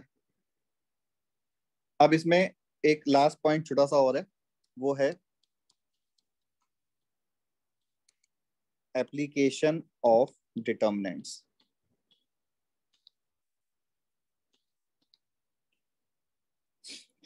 हमने जो पहले ऑलरेडी एप्लीकेशंस पढ़े हुए हैं, हम उनको रिपीट नहीं कर रहे, लेकिन दो पॉइंट बस मैं लिख रहा हूँ यहाँ पे। हमने और ऑलरेडी क्या क्या पढ़ा हुआ है? एक तो हम एरिया ऑफ़ ट्राइंगल ज़ीरो करने के लिए यूज़ करते हैं डिटर्मिनेंट का। दूसरा, अगर कोई भी सेकंड डिग्री का इक्वेशन पेयर ऑफ़ लाइन को रिप्रेजेंट कर रहा है तो डिटर्मिनेंट ज़ीरो करते हैं। ये तो मैं नहीं लिख रहा हूँ। एक है एप्लीकेशन जो अभी हम पहले हमने नहीं पढ़ा था, वो ये है कि if system of homogeneous equations और ये सिस्टम इस तरह से है A one X plus B one Y plus C one Z equals to zero A two X plus B two Y plus C two Z A three X plus B three Y plus C three Z जो हमने system use किया है उसमें सारे के सारे constant zero है। तो इस सिस्टम से हम डायरेक्टली बोल सकते हैं कि zero comma zero comma zero तो इसका एक सॉल्यूशन होगा ही होगा चाहे एबीसी कुछ भी हो जाए। Zero comma zero comma zero तो इस इक्वेशन हाँ, को ऑलवेज सेटिस्फाई कर रहा है हाँ, तो हमने बोल दिया कि इसका एटलीस्ट वन सॉल्यूशन तो हो ही गया। अगर इसका एटलीस्ट वन सॉल्यूशन हो गया तो कभी भी नो सॉल्यूशन वाला केस नहीं आ सकता। यानी कि इस टाइप का सिस्टम के सिर्फ़ दो पॉसिबिलिटी है या तो यूनिक सॉल्यूशन होगा या फिर इनफाइनाइट सॉल्यूशंस होंगे। ठीक yes, है? अब इसमें कई बार स्टेटमेंट को एक्चुअली बात तो बड़ी सिंपल सी होती है लेकिन बस क्वेश्चन में स्टेटमेंट को थोड़ा सा घुमा फिरा के बोला होता है। स्टेटमेंट बोला कि if this system of equation has a non trivial solution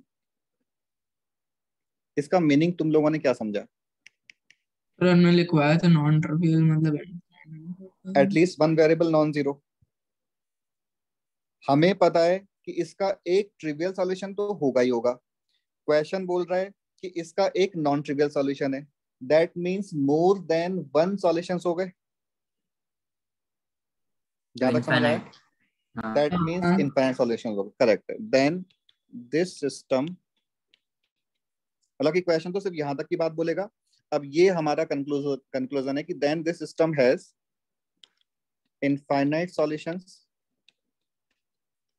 therefore determinant zero करेंगे और यहाँ पे डी ज़ीरो करने में कोई कंफ्यूजन नहीं है। बिकॉज़ हमने पहले जो बोला था क्रेमर्स रूल में कि अगर D zero D one D three सब ज़ीरो है तो कंफ्यूजन ये है कि या तो नो सॉल्यूशन होगा या इनफाइनाइट सॉल्यूशन होगा। लेकिन इस टाइप के सिस्टम का हमने अभी बोल ही दिया कि नो सॉल्यूशन तो हो ही नहीं सकता। तो that means only possibility is infinite solution तो अगर क्वेश्चन ने बोला कि homogeneous system has a non trivial solution then confirmly D zero होगा कोफिशिएंट का डिटर्मिनेंट ज़ीरो होगा। सेकंड है if system of equations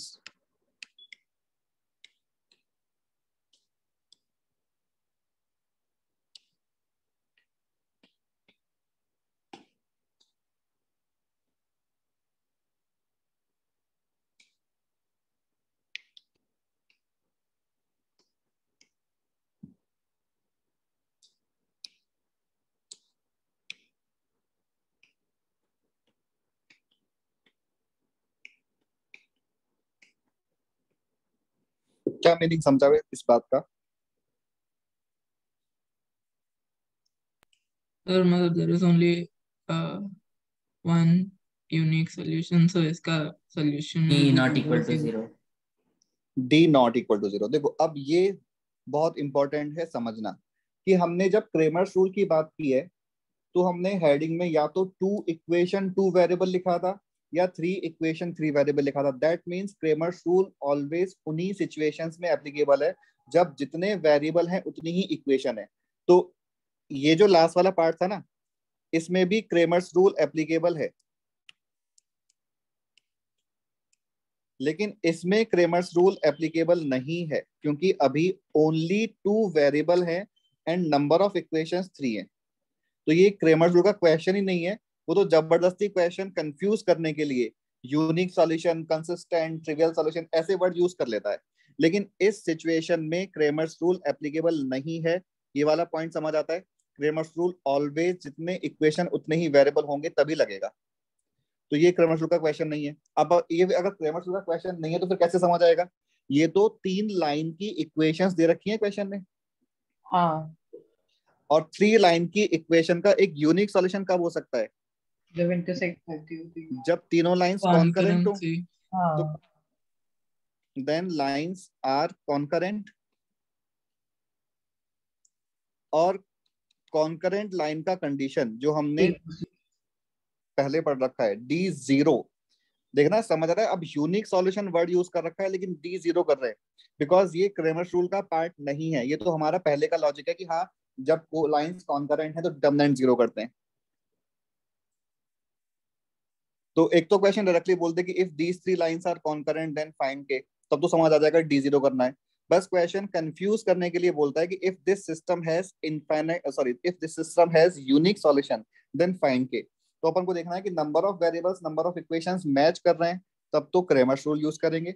match नहीं कर रहे हैं तो फिर तो ये लाइन का क्वेश्चन हो गया कॉन्करेंसी के अकॉर्डिंग डी ज़ीरो कर लेंगे। ये बस दो पॉइंट यहाँ पे इंपॉर्टेंट है।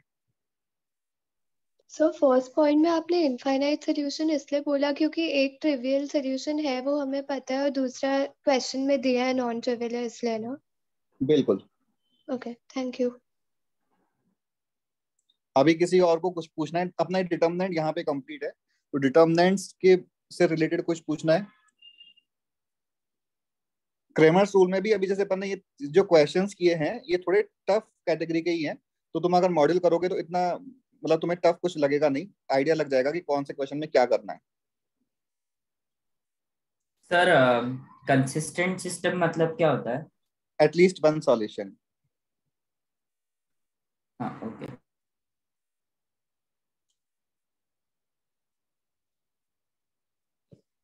ठीक है ये अपना डिटर्मिनेंट वाला पार्ट कंप्लीट है। और तुम्हारे एमटी में सिंस डिटर्मिनेंट आ रहा है तो जो अपनी नेक्स्ट क्लास क्या है आई थिंक हाँ फ्राइडे को है ना? तो फ्राइडे को हम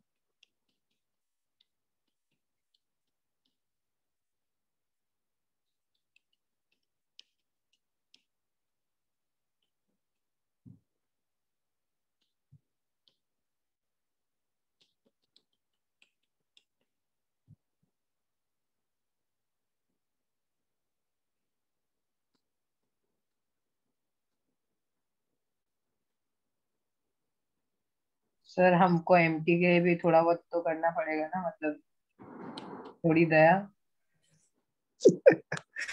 तो तुमने देखो हाइपर बोला तो अभी रेडी कर ही लिया होगा पेपर के लिए जो लास्ट संडे को हुआ था। कल का पेपर कैसा गया? हाँ अच्छा बेकार क्या? ठीक था। अच्छा था बट कुछ कुछ सवाल में मज़ा नहीं आई। अभी देखो मज़े कैसे इंटीग्रेशन डाला आपने एक भी क्वेश्चन में। मिहिर को इंटीग्रेशन चाहिए था। इंटीग्रेशन हाँ उसको सर इंटीग्रेशन अरे सर वो इग्नोर करो वो जाने दो। ओके चलो इसमें से मतलब जितना मैक्सिमम कर सकते उतना कर लेना। अपन नेक्स्ट क्लास में डिस्कस करेंगे। और एमटी में ओनली यहाँ तक का ही पार्ट है। लेकिन सिंस नेक्स्ट क्लास अभी अपनी थ्री आवर्स की है तो अपना टाइम बचेगा। तो उसके लिए अभी मैं ग्रुप पे तुम्हें अभी इसके बाद अपन मैट्रिक्स शुरू करेंगे। और मैट्रिक्स में स्टार्टिंग के एक डेढ़ घंटे तो ओनली थ्योरी पढ़ानी है मुझे। तो मैं उस चीज़ में टाइम सेव करने के लिए तुम्हें अभी ग्रुप पे एक थ्योरी नोट शेयर कर दूँगा और वो अभी अपन थोड़ी देर में समझ लेते हैं। अपन ये क्लास आधे घंटे तक और ले लेते हैं फिर एंड कर लेंगे। ठीक है ना? यस सर हाँ सर थ्योरी डिटर्मिनेंट मैट्रिक्स की। बहुत ही मतलब ये सारा मैं तुम्हें शेयर करूँगा तो तुमने अपने नोट्स में कॉपी कर लेना। देखो मैट्रिक्स क्या है? मैट्रिक्स एक एक्सप्रेशन है डिटर्मिनेंट जो है, वो उसको तो अपन वैल्यू मतलब उसको सॉल्व कर सकते हैं। मैट्रिक्स को सॉल्व नहीं कर सकते मैट्रिक्स का कोई वैल्यू नहीं आता। Matrix is just an expression और इसको बोलते हैं एक रेक्टेंगुलर एरे तो अभी जो ये मैंने लिखा है, ये एक मैट्रिक्स है। डिटर्मिनेंट का सिंबल वर्टिकल लाइन है। मैट्रिक्स का सिंबल स्क्वायर ब्रैकेट है या फिर राउंड ब्रैकेट है। तो अगर राउंड ब्रैकेट में भी लिखा हुआ है तो भी वो मैट्रिक्स ही है। अभी जो एलिमेंट्स लिखे हैं, वो समझ आ रहा है कि ए टू थ्री लिखा है। तो ये सेकंड रो थर्ड कॉलम का एलिमेंट है। डिटर्मिनेंट में नंबर ऑफ़ रोज और नंबर ऑफ़ कॉलम्स सेम होने चाहिए। मैट्रिक्स में ऐसा कोई कंपल्शन नहीं है। मैट्रिक्स में नंबर ऑफ़ रोज और नंबर ऑफ़ कॉलम्स डिफरेंट हो सकते हैं। तो अभी ये जो मैट्रिक्स बना हुआ है इसमें नंबर ऑफ़ रोज कितने हैं? एम है या एन है? एन तो हमने पहले भी बोला था कि जो फ़र्स्ट नंबर है फ़र्स्ट सफिक्स है वो रो और सेकंड कॉलम को रिप्रेजेंट करता है। तो अभी इसमें M rows and N columns हैं। ठीक है? और हम मैट्रिक्स को स्क्वायर या फिर राउंड ब्रैकेट कैसे भी नोट कर सकते हैं? इन जनरल स्क्वायर मैट्रिक्स से ही करते हैं बट अगर कभी राउंड ब्रैकेट में लिखा है तो पता होना चाहिए कि ये भी मैट्रिक्स ही है। और जबकि डिटर्मिनेंट के लिए ओनली वर्टिकल लाइंस यूज़ करेंगे। ए आई जे हाँ वो पहली वाली बात ये है कि आई एथ रो और जे एथ कॉलम में लाई करने वाले एलिमेंट को हमने ए आई जे से नोट किया है। और इस मैट्रिक्स को शॉर्ट में हम ऐसे लिखते हैं कि ये मैट्रिक्स ए आई जे है और एम क्रॉस एन ऑर्डर का मैट्रिक्स है। नेक्स्ट है टाइप ऑफ़ मैट्रिक्स नाम से समझ जाता है। रो मैट्रिक्स जिसमें एक ही रो है। कॉलम मैट्रिक्स इसमें एक ही कॉलम में एक रो है नंबर ऑफ़ कॉलम्स इस वाले में कितने भी हो सकते हैं। लेकिन कॉलम मैट्रिक्स में ओनली एक कॉलम है। नंबर ऑफ़ रोज कितनी भी हो सकती हैं। हॉरिजॉन्टल मैट्रिक्स जो दिखने में हॉरिजॉन्टल है। और यानी कि ये जो लिखा हुआ है। इस मैट्रिक्स में नंबर ऑफ़ रोज टू है। नंबर ऑफ़ कॉलम्स फोर है। तो whenever order M cross N के मैट्रिक्स में एम लेस देन एन होगा, वो हॉरिजॉन्टल दिखेगा और इस टाइप का मैट्रिक्स जो दिख रहा है, वो है वर्टिकल मैट्रिक्स तो number of rows greater than number of columns हो गए तो वर्टिकल और लास्ट टाइप में है, अगर एम और एन दोनों इक्वल ही हो गए तो स्क्वायर मैट्रिक्स तो ये पाँचों टाइप क्लियर है सभी को? सिंपल सी बात है। अब स्क्वायर मैट्रिक्स की थोड़ी और डिटेल में बात करें तो एक तो जस्ट इंफॉर्मेशन की ए आई जे और ए जे आई जो एलिमेंट्स होते हैं, इनको कॉन्जुगेट एलिमेंट्स बोलते हैं।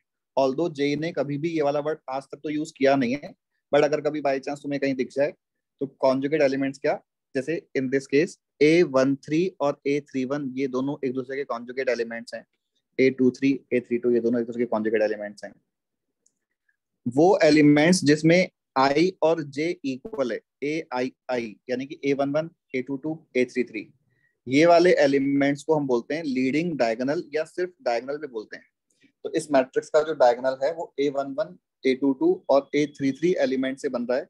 और इस डायगनल के सारे एलिमेंट्स का जो सम है that is called traces of A तो कोई भी मैट्रिक्स के ट्रेसेस का मतलब क्या? Sum of all elements of leading diagonal और इसको अपन टी आर ए से नोट करते हैं। मैट्रिक्स को अपन ऑलवेज इंग्लिश में कैपिटल लेटर से नोट करते हैं मैट्रिक्स ए है मैट्रिक्स बी है मैट्रिक्स एक्स है। ठीक है?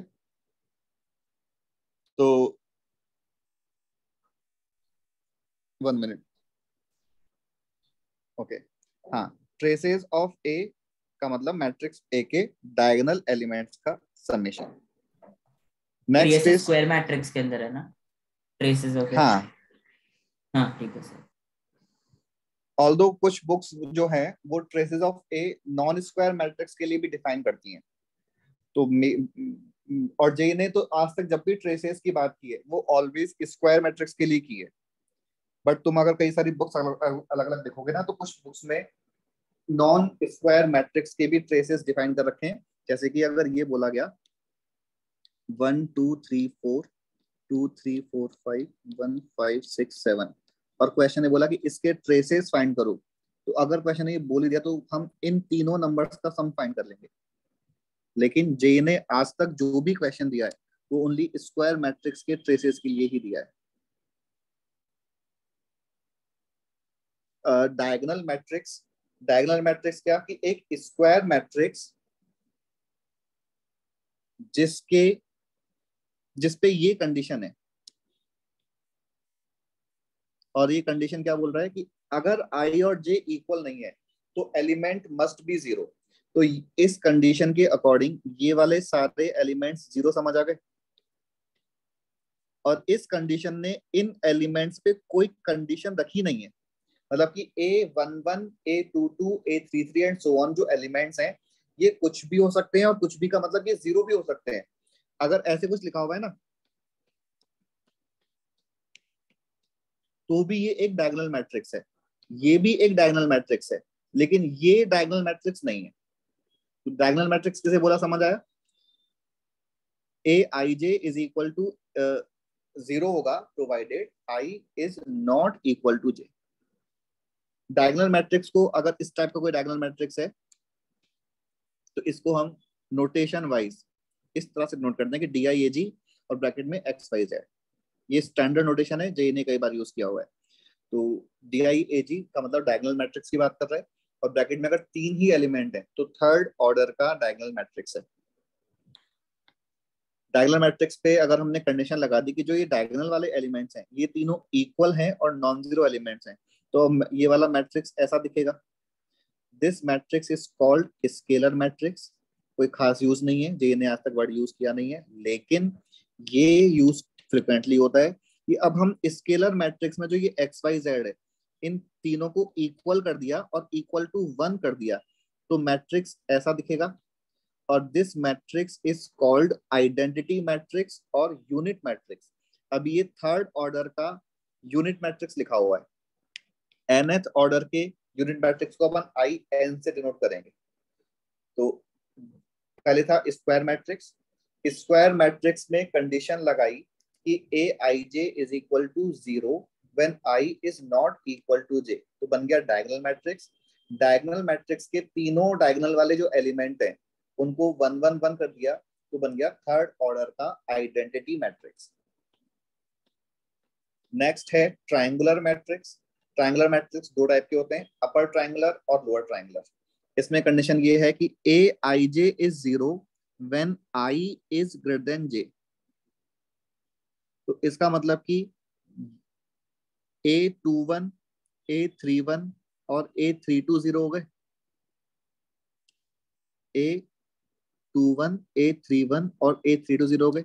तो ये अपर ट्राइंगुलर मैट्रिक्स है। प्रॉपर तो ये है कि इसका जो अपर ट्राइंगल है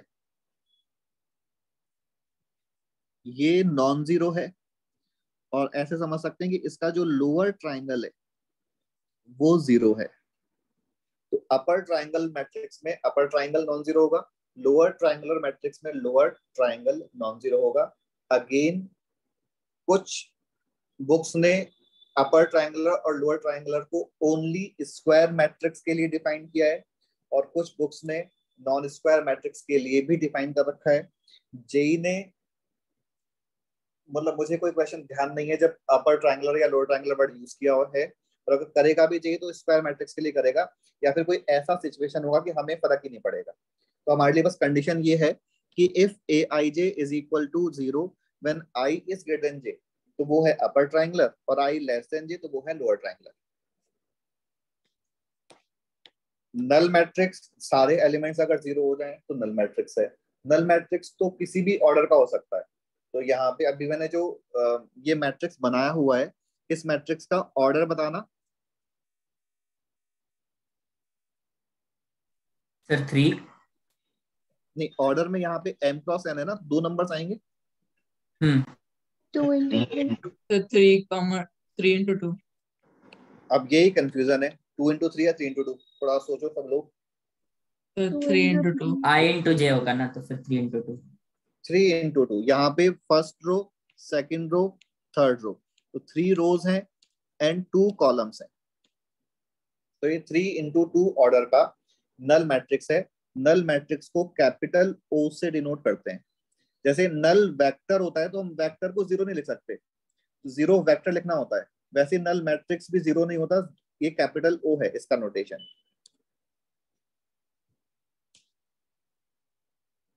comparable matrix to matrix को हम कंपेयर तभी कर सकते हैं जब वो कंपेरेबल हो मतलब कि उनका ऑर्डर सेम हो।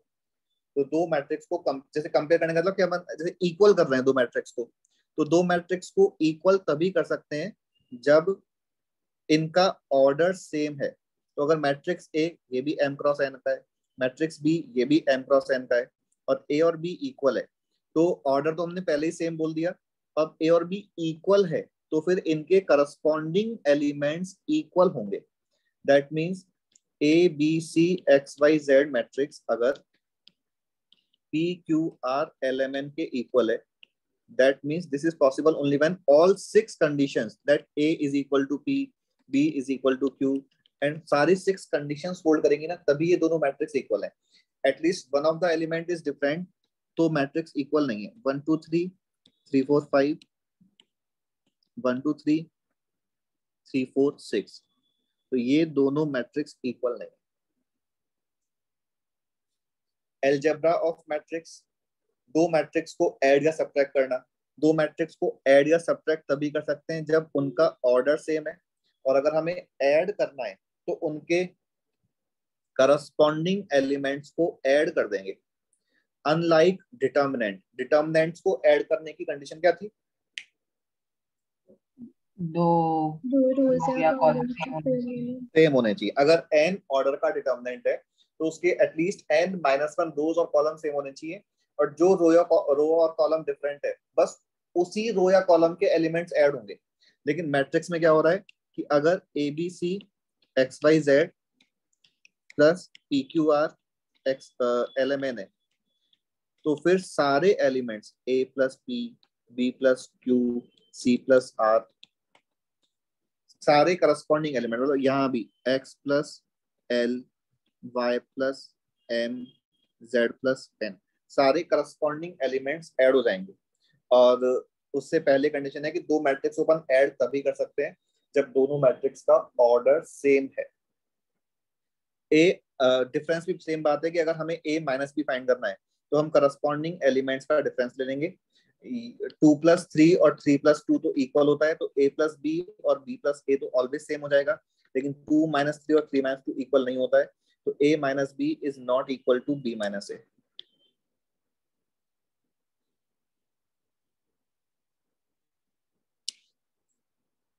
ठीक है, अब ये तो है दो मैट्रिक्स को एड सब्ट्रैक्ट करने का पॉइंट अब मान लो हम अगर एक मैट्रिक्स में उसी मैट्रिक्स को ऐड करें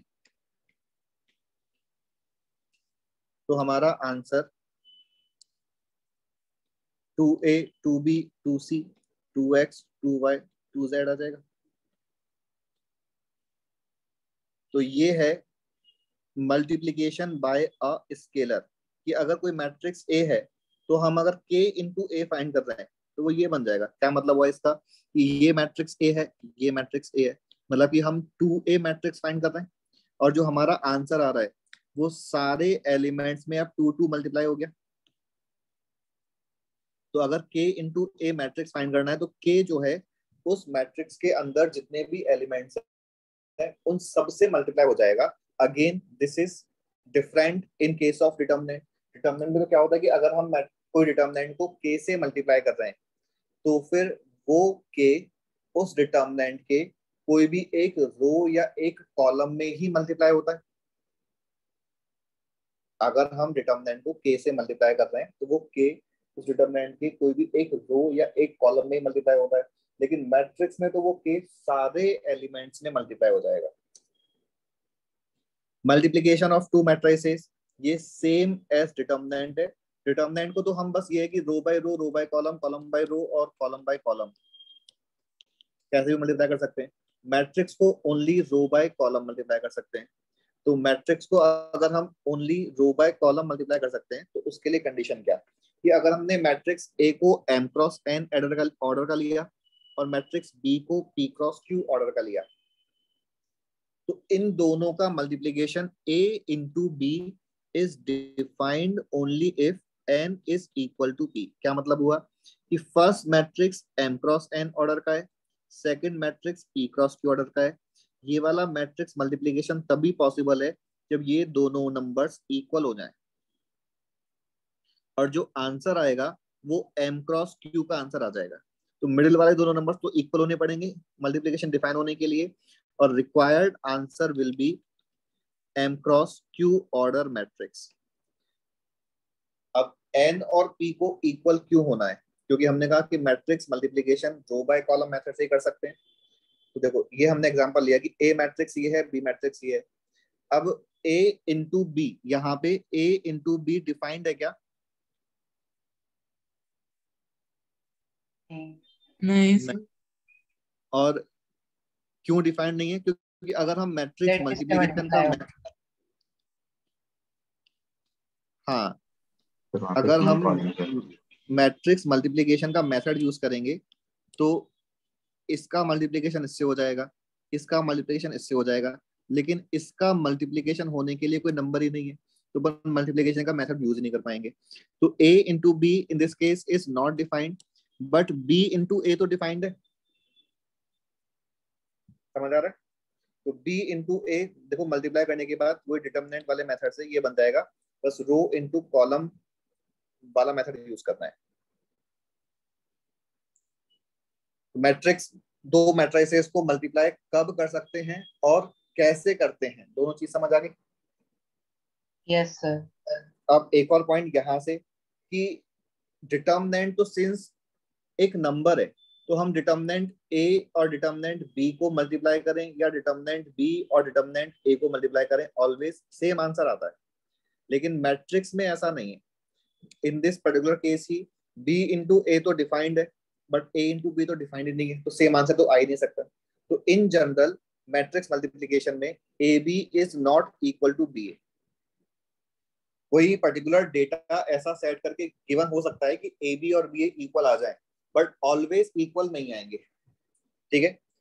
और कभी अगर ऐसा गिवन है कि if A B is equal to B A then we say that these matrices are commutative matrices अगर ए बी और बी ए इक्वल है तो मैट्रिक्स को अपन कम्यूटेटिव बोलते हैं। A B is equal to minus B A है। तो हम मैट्रिक्स को एंटी कम्यूटेटिव बोलते हैं। ये बेसिक पॉइंट्स हैं कि अगर हम पहले ए और बी को मल्टीप्लाई करें और फिर सी को मल्टीप्लाई करें, या फिर पहले बी और सी को मल्टीप्लाई करें और फिर ए को मल्टीप्लाई करें। लेकिन यहाँ पे ऑर्डर का ध्यान रखना है। हम ऐसा नहीं कर सकते कि पहले हमने ए और बी को मल्टीप्लाई किया, फिर सी को मल्टीप्लाई किया, या फिर पहले बी ए को मल्टीप्लाई किया। तो ये इक्वल नहीं है। हमें इक्वल करने के लिए ए को प्री मल्टीप्लीकेशन में ही रखना पड़ेगा। ऑर्डर सेम रखना पड़ेगा तभी जाके इक्वल आएँगे।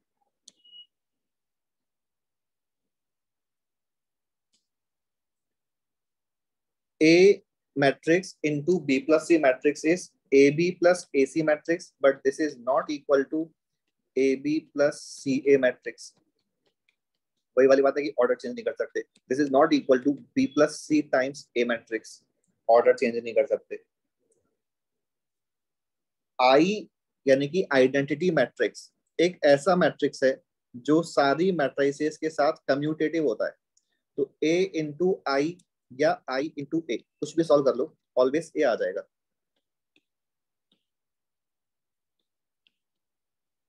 इसको आइडेंटिटी मैट्रिक्स से मल्टीप्लाई करने के लिए आइडेंटिटी मैट्रिक्स को किस ऑर्डर का लेना पड़ेगा? टू क्रॉस टू या three cross three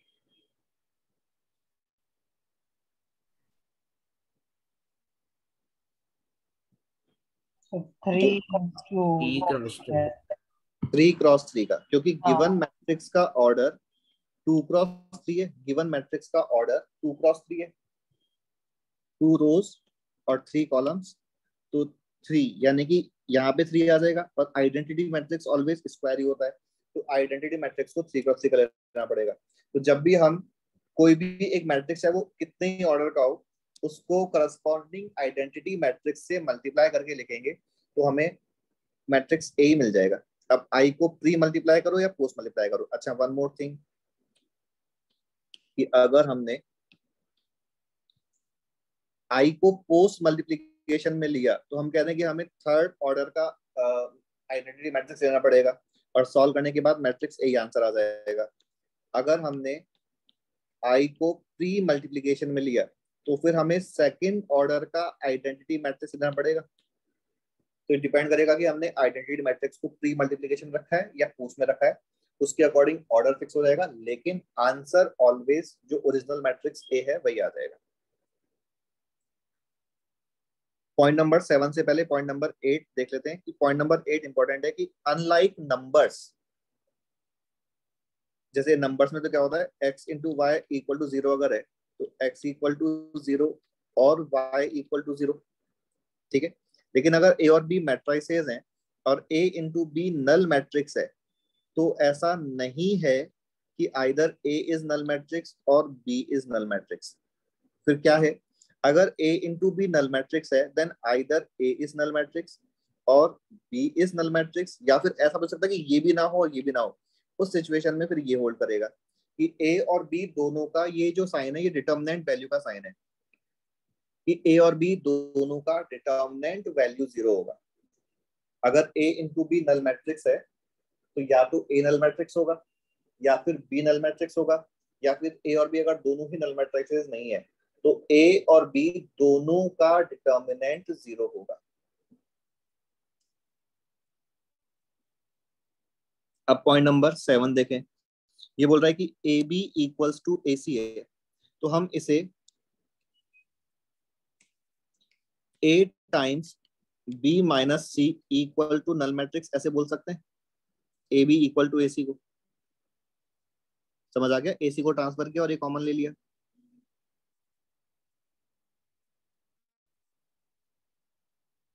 समझ आ रहा है नहीं आ रहा? हाँ सर। अब a into B minus C अगर नल मैट्रिक्स है तो हम बोल रहे हैं कि either a is null matrix और b minus C is null matrix और determinant of a zero and determinant of b minus C zero only ये पॉसिबिलिटी होगी ऐसा नहीं बोल सकते। लेकिन अगर b equal to C given है तो दोनों साइड a से प्री मल्टीप्लाई करके A B equal to A C आ जाएगा। ये हम बोल सकते हैं। ठीक है? लास्ट है इसमें पॉइंट कि ट्रेसेस ऑफ़ ए बी और ट्रेसेस ऑफ़ बी ए ये दोनों इक्वल होते हैं। ट्रेसेस ऑफ़ ए बी और ट्रेसेस ऑफ़ बी ए ये दोनों इक्वल होंगे। अब traces of A B and traces of B A जो है, ये दोनों डिफाइन कब होंगे? मान लो matrix A M cross N order का है। Matrix B P cross Q order का है। अगर इन दोनों को इक्वल करना है तो ए इंटू बी डिफाइन होना चाहिए। ए इंटू बी डिफाइन होने के लिए एन इक्वल टू पी होना चाहिए। And B into A B define होना चाहिए। बी इंटू ए डिफाइन होने के लिए एम इक्वल टू क्यू होना चाहिए। ठीक है? अगर ऐसा हो गया तो इसका मतलब कि ए मैट्रिक्स अगर एम क्रॉस एन का है तो B matrix N cross M का हो गया। यहाँ तक की बात समझ आ रही है? तो A into B matrix M cross M का हो गया और B into A matrix N cross N का हो गया। तो एक और पॉइंट यहाँ से बन जाता है वो क्या है कि अगर ए बी मतलब A into B is defined and b into a is also defined then both ab and ba will be square matrices if a into b is defined and b into a also defined then both ab and ba are square matrices a जो है a वो square matrix होना ज़रूरी नहीं है लेकिन a into B square matrix हो जाएगा and b into A square matrix हो जाएगा। Matrix division is not defined जैसे वेक्टर्स की बात कर लें तो वेक्टर्स में क्या होता है? दो वेक्टर्स को ऐड कर सकते हैं दो वेक्टर्स को सब्ट्रैक्ट कर सकते हैं दो वेक्टर्स को मल्टीप्लाई कर सकते हैं विद सर्टेन कंडीशन केवल मल्टीप्लिकेशन को या तो डॉट में लेंगे या क्रॉस में लेंगे लेकिन दो वेक्टर्स को डिवाइड नहीं कर सकते। तो वैसे यहाँ पे भी है। दो मैट्रिसेस को ऐड कर सकते हैं सब्ट्रैक्ट कर सकते हैं लेकिन मल्टीप्लाई uh, भी कर सकते हैं रो इनटू कॉलम मेथड से लेकिन डिवाइड नहीं कर सकते। दो वेक्टर्स को ऐड या सब्ट्रैक्ट करने के बाद मान लो एक एक्स वेक्टर है और एक वाई वेक्टर है, इनको हमने सब्ट्रैक्ट किया तो अगर सारा कुछ कैंसिल हो गया तो हम ज़ीरो नहीं लिखते, हम नल वेक्टर लिखते हैं। वैसे अगर दो मैट्रिक्स का डिफरेंस लेने के बाद सारा कुछ कैंसिल हो गया तो हम ज़ीरो नहीं लिखेंगे नल मैट्रिक्स लिखेंगे। यहाँ पे ज़ीरो वेक्टर यहाँ पे null matrix positive integral powers of So can you explain the seventh point again? Seven point हमने बोला कि this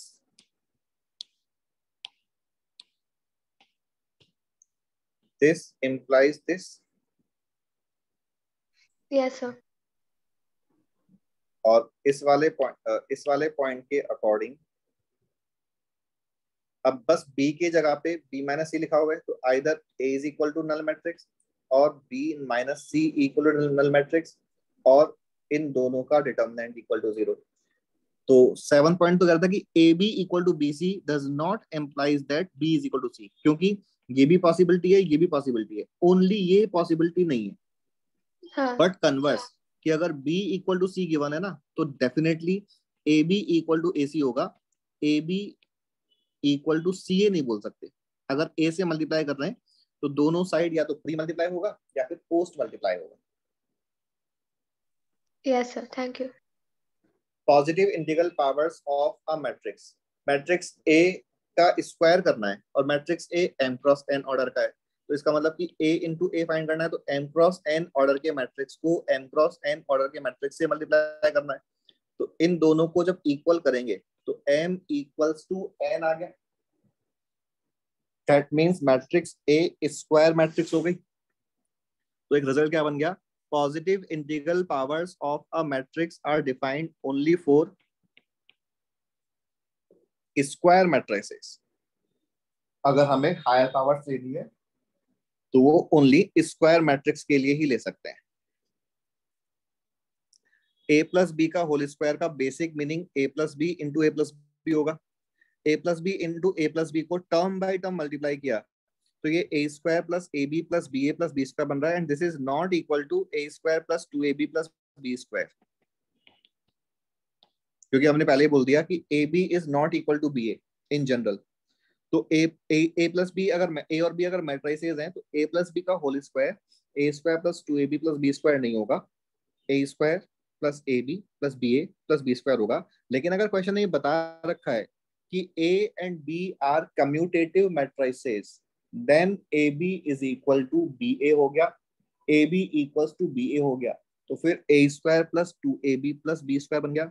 और एक important point whenever A and B are commutative matrices तो फिर जो नंबर्स वाले फॉर्मूले हैं, वो सारे फॉर्मूले फिर मैट्रिक्स में भी एप्लीकेबल हो जाएँगे। नंबर्स के फॉर्मूले क्या होते हैं? ये तो होते हैं कि ए प्लस बी का whole square A square plus two A B plus B square होता है। ए प्लस बी का whole cube A cube plus three A square B plus three A B square plus B cube होता है। तो numbers वाले फॉर्मूले matrix में तभी एप्लीकेबल हैं वेन एवर ए बी मतलब A and B are commutative तो नंबर्स में अगर हम बाइनोमियल थ्योरम की बात करें तो बाइनोमियल थ्योरम का स्टेटमेंट ये बन जाएगा if A and B are commutative अगर ए और बी कम्यूटेटिव नहीं है तो फिर अपन ये चीज़ नहीं लिख सकते। जस्ट ऑब्जर्वेशन वाला पॉइंट कि अगर हम डायगोनल मैट्रिक्स की हायर पावर्स लें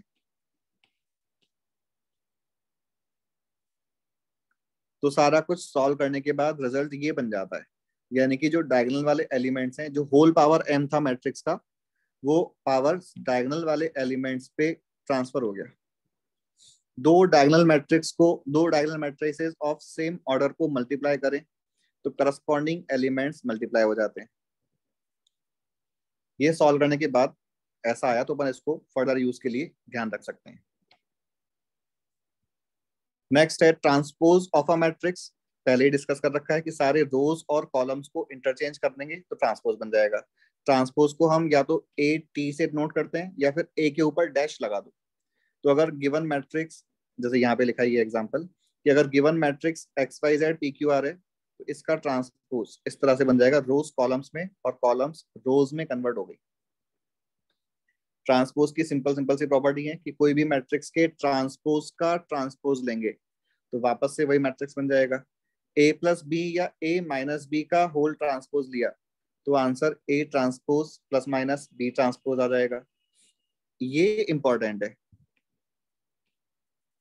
कि अगर ए इंटू बी का ट्रांसपोज लिया और ट्रांसपोज को हमें डिस्ट्रीब्यूट करना है तो डिस्ट्रीब्यूट करने से पहले ऑर्डर चेंज करना पड़ेगा। A into B whole transpose is B transpose into A transpose और ये तो हमने डिटर्मिनेंट में डिस्कस कर ही लिया था कि अगर ए एक स्क्वायर मैट्रिक्स है तो उसका डिटर्मिनेंट नहीं नहीं, ये तो ट्रांसपोज की बात कर रहे हैं। ट्रेसेस का मतलब ट्रेसेस का मतलब डायगनल एलिमेंट्स का सम अगर स्क्वायर मैट्रिक्स की बात कर रहे हैं तो A one one A two two A three three अगर थर्ड ऑर्डर का ले रहे हैं तो ये होगा। अगर हम इसका ट्रांसपोज लें तो ट्रांसपोज लेने से देखो ये वाले एलिमेंट्स चेंज नहीं होते, ये अपनी जगह भी रहते। तो इसका मतलब कि ट्रेसेस जो हैं वो ट्रांसपोज लेने से चेंज नहीं होंगे।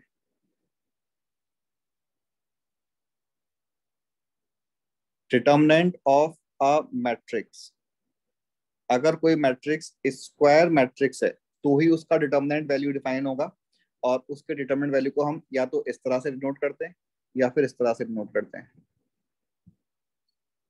ठीक है?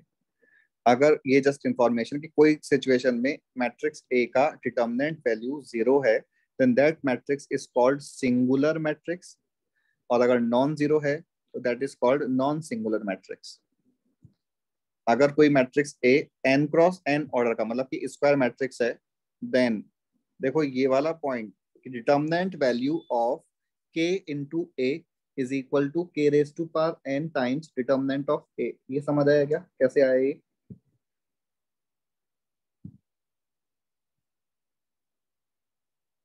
अगर कोई मैट्रिक्स सर एन रोज से के कॉमन लिया। बिल्कुल सही बात है। कि मैट्रिक्स ए मान लो ये है तो अगर हम के ए मैट्रिक्स फाइंड करेंगे तो मैट्रिक्स में तो क्या होता है? के अब सारे रोज और कॉलम्स के एलिमेंट्स में मल्टीप्लाई हो जाएगा। तो के ए मैट्रिक्स ये बना। अब इस मैट्रिक्स का डिटर्मिनेंट फाइंड करना है। अब डिटर्मिनेंट फाइंड करना है तो डिटर्मिनेंट की प्रॉपर्टी लगेगी। तो के फ़र्स्ट रो से बाहर, फिर के सेकंड रो से बाहर, फिर के थर्ड रो से बाहर। तो के तीन बार बाहर हो जाएगा। तो अगर थर्ड ऑर्डर का मैट्रिक्स है तो के थ्री टाइम्स बाहर हो जाएगा। अगर एनथ ऑर्डर का मैट्रिक्स है तो के एन टाइम्स बाहर हो जाएगा ए इंटू बी का ए इंटू ए और बी मैट्रिक्स है तो ए इंटू बी जो मैट्रिक्स बनेगा, उसका determinant value will always be equal to determinant of A into determinant of B provided both A and B are square matrices.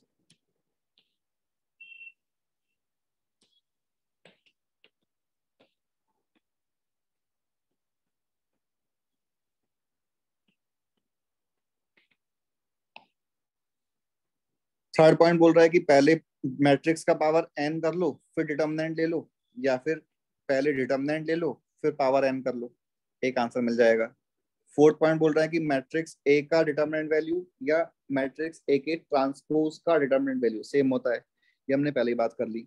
And fifth point की determinant of A plus B is not equal to determinant of A plus determinant of B क्योंकि matrix में और determinant में add करने के rules अलग अलग हैं। डिटर्मिनेंट में तो ओनली एक रो या एक कॉलम के एलिमेंट्स ऐड होते हैं। मैट्रिक्स में सारी रो सारे कॉलम्स के एलिमेंट्स ऐड हो जाते हैं। तो हम मैट्रिक्स के केस में डिटर्मिनेंट की प्रॉपर्टी यूज़ नहीं कर सकते। तो determinant of A plus B is not equal to determinant of A plus determinant of B अब आगे ये इंफॉर्मेशन है कि अगर कोई मैट्रिक्स में A square equal to A hold कर रहा है तो वो आइडेम्पोटेंट मैट्रिक्स है। A raise to power N null matrix है but A raise to power N minus one null matrix नहीं है। तो फिर इसको हम निल पोटेंट मैट्रिक्स बोलते हैं, और उस मैट्रिक्स का और इंडेक्स जो है, वो एन हो जाएगा। A square equal to I अगर आ गया that is called involutory matrix A raise to power K plus one equal to A आ गया मतलब कभी सॉल्व किया, और A raise to power five A आ गया। तो ये मैट्रिक्स पीरियोडिक मैट्रिक्स है और इसका जो पीरियड है, वो फोर हो जाएगा। ऑर्थोगोनल मैट्रिक्स अगर कोई स्क्वायर मैट्रिक्स इस तरह से है कि a into A transpose equal to I तो a को अपन ऑर्थोगोनल मैट्रिक्स बोलते हैं और इस सिचुएशन में always A into A transpose और A transpose into A same आता है आई के इक्वल ऑर्थोगोनल मैट्रिक्स का जो डिटर्मिनेंट वैल्यू है, ये वन या माइनस वन होगा। क्यों? क्योंकि हमने कहा a into A transpose equal to I दोनों साइड डिटर्मिनेंट लिया। तो ये बन गया determinant of A into determinant of A transpose is equal to identity matrix का डिटर्मिनेंट ऑलवेज वन आएगा। इसका डिटर्मिनेंट आ रहा है। लेकिन ये दोनों तो इक्वल होते हैं तो लेफ़्ट साइड बन गया determinant of A square equal to one determinant of A का वैल्यू प्लस माइनस वन आ जाएगा।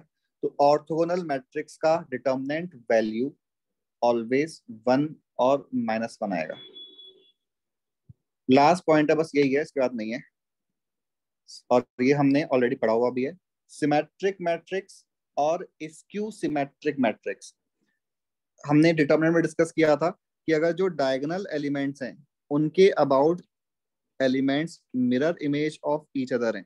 जिसकी mathematical condition A I J is equal to A J I होती है। तो और ये ओनली स्क्वायर मैट्रिक्स के लिए डिफाइंड है। तो हम उस मैट्रिक्स को सिमेट्रिक मैट्रिक्स बोलेंगे और सिमेट्रिक मैट्रिक्स वाले केस में always A transpose is equal to A hold करेगा। अगर A I J is equal to minus A J I है तो इस सिचुएशन में A transpose is equal to minus A hold करेगा। और जो इसक्यू सिमेट्रिक मैट्रिक्स है, उसके जो लीडिंग डायगनल के एलिमेंट्स हैं, वो ऑलवेज ज़ीरो होते हैं। और एक और पॉइंट जो हमने पहले नोट कर रखा है कि determinant value of a symmetric matrix of odd order is always equal to determinant of skew symmetric matrix of odd order कितना होता है?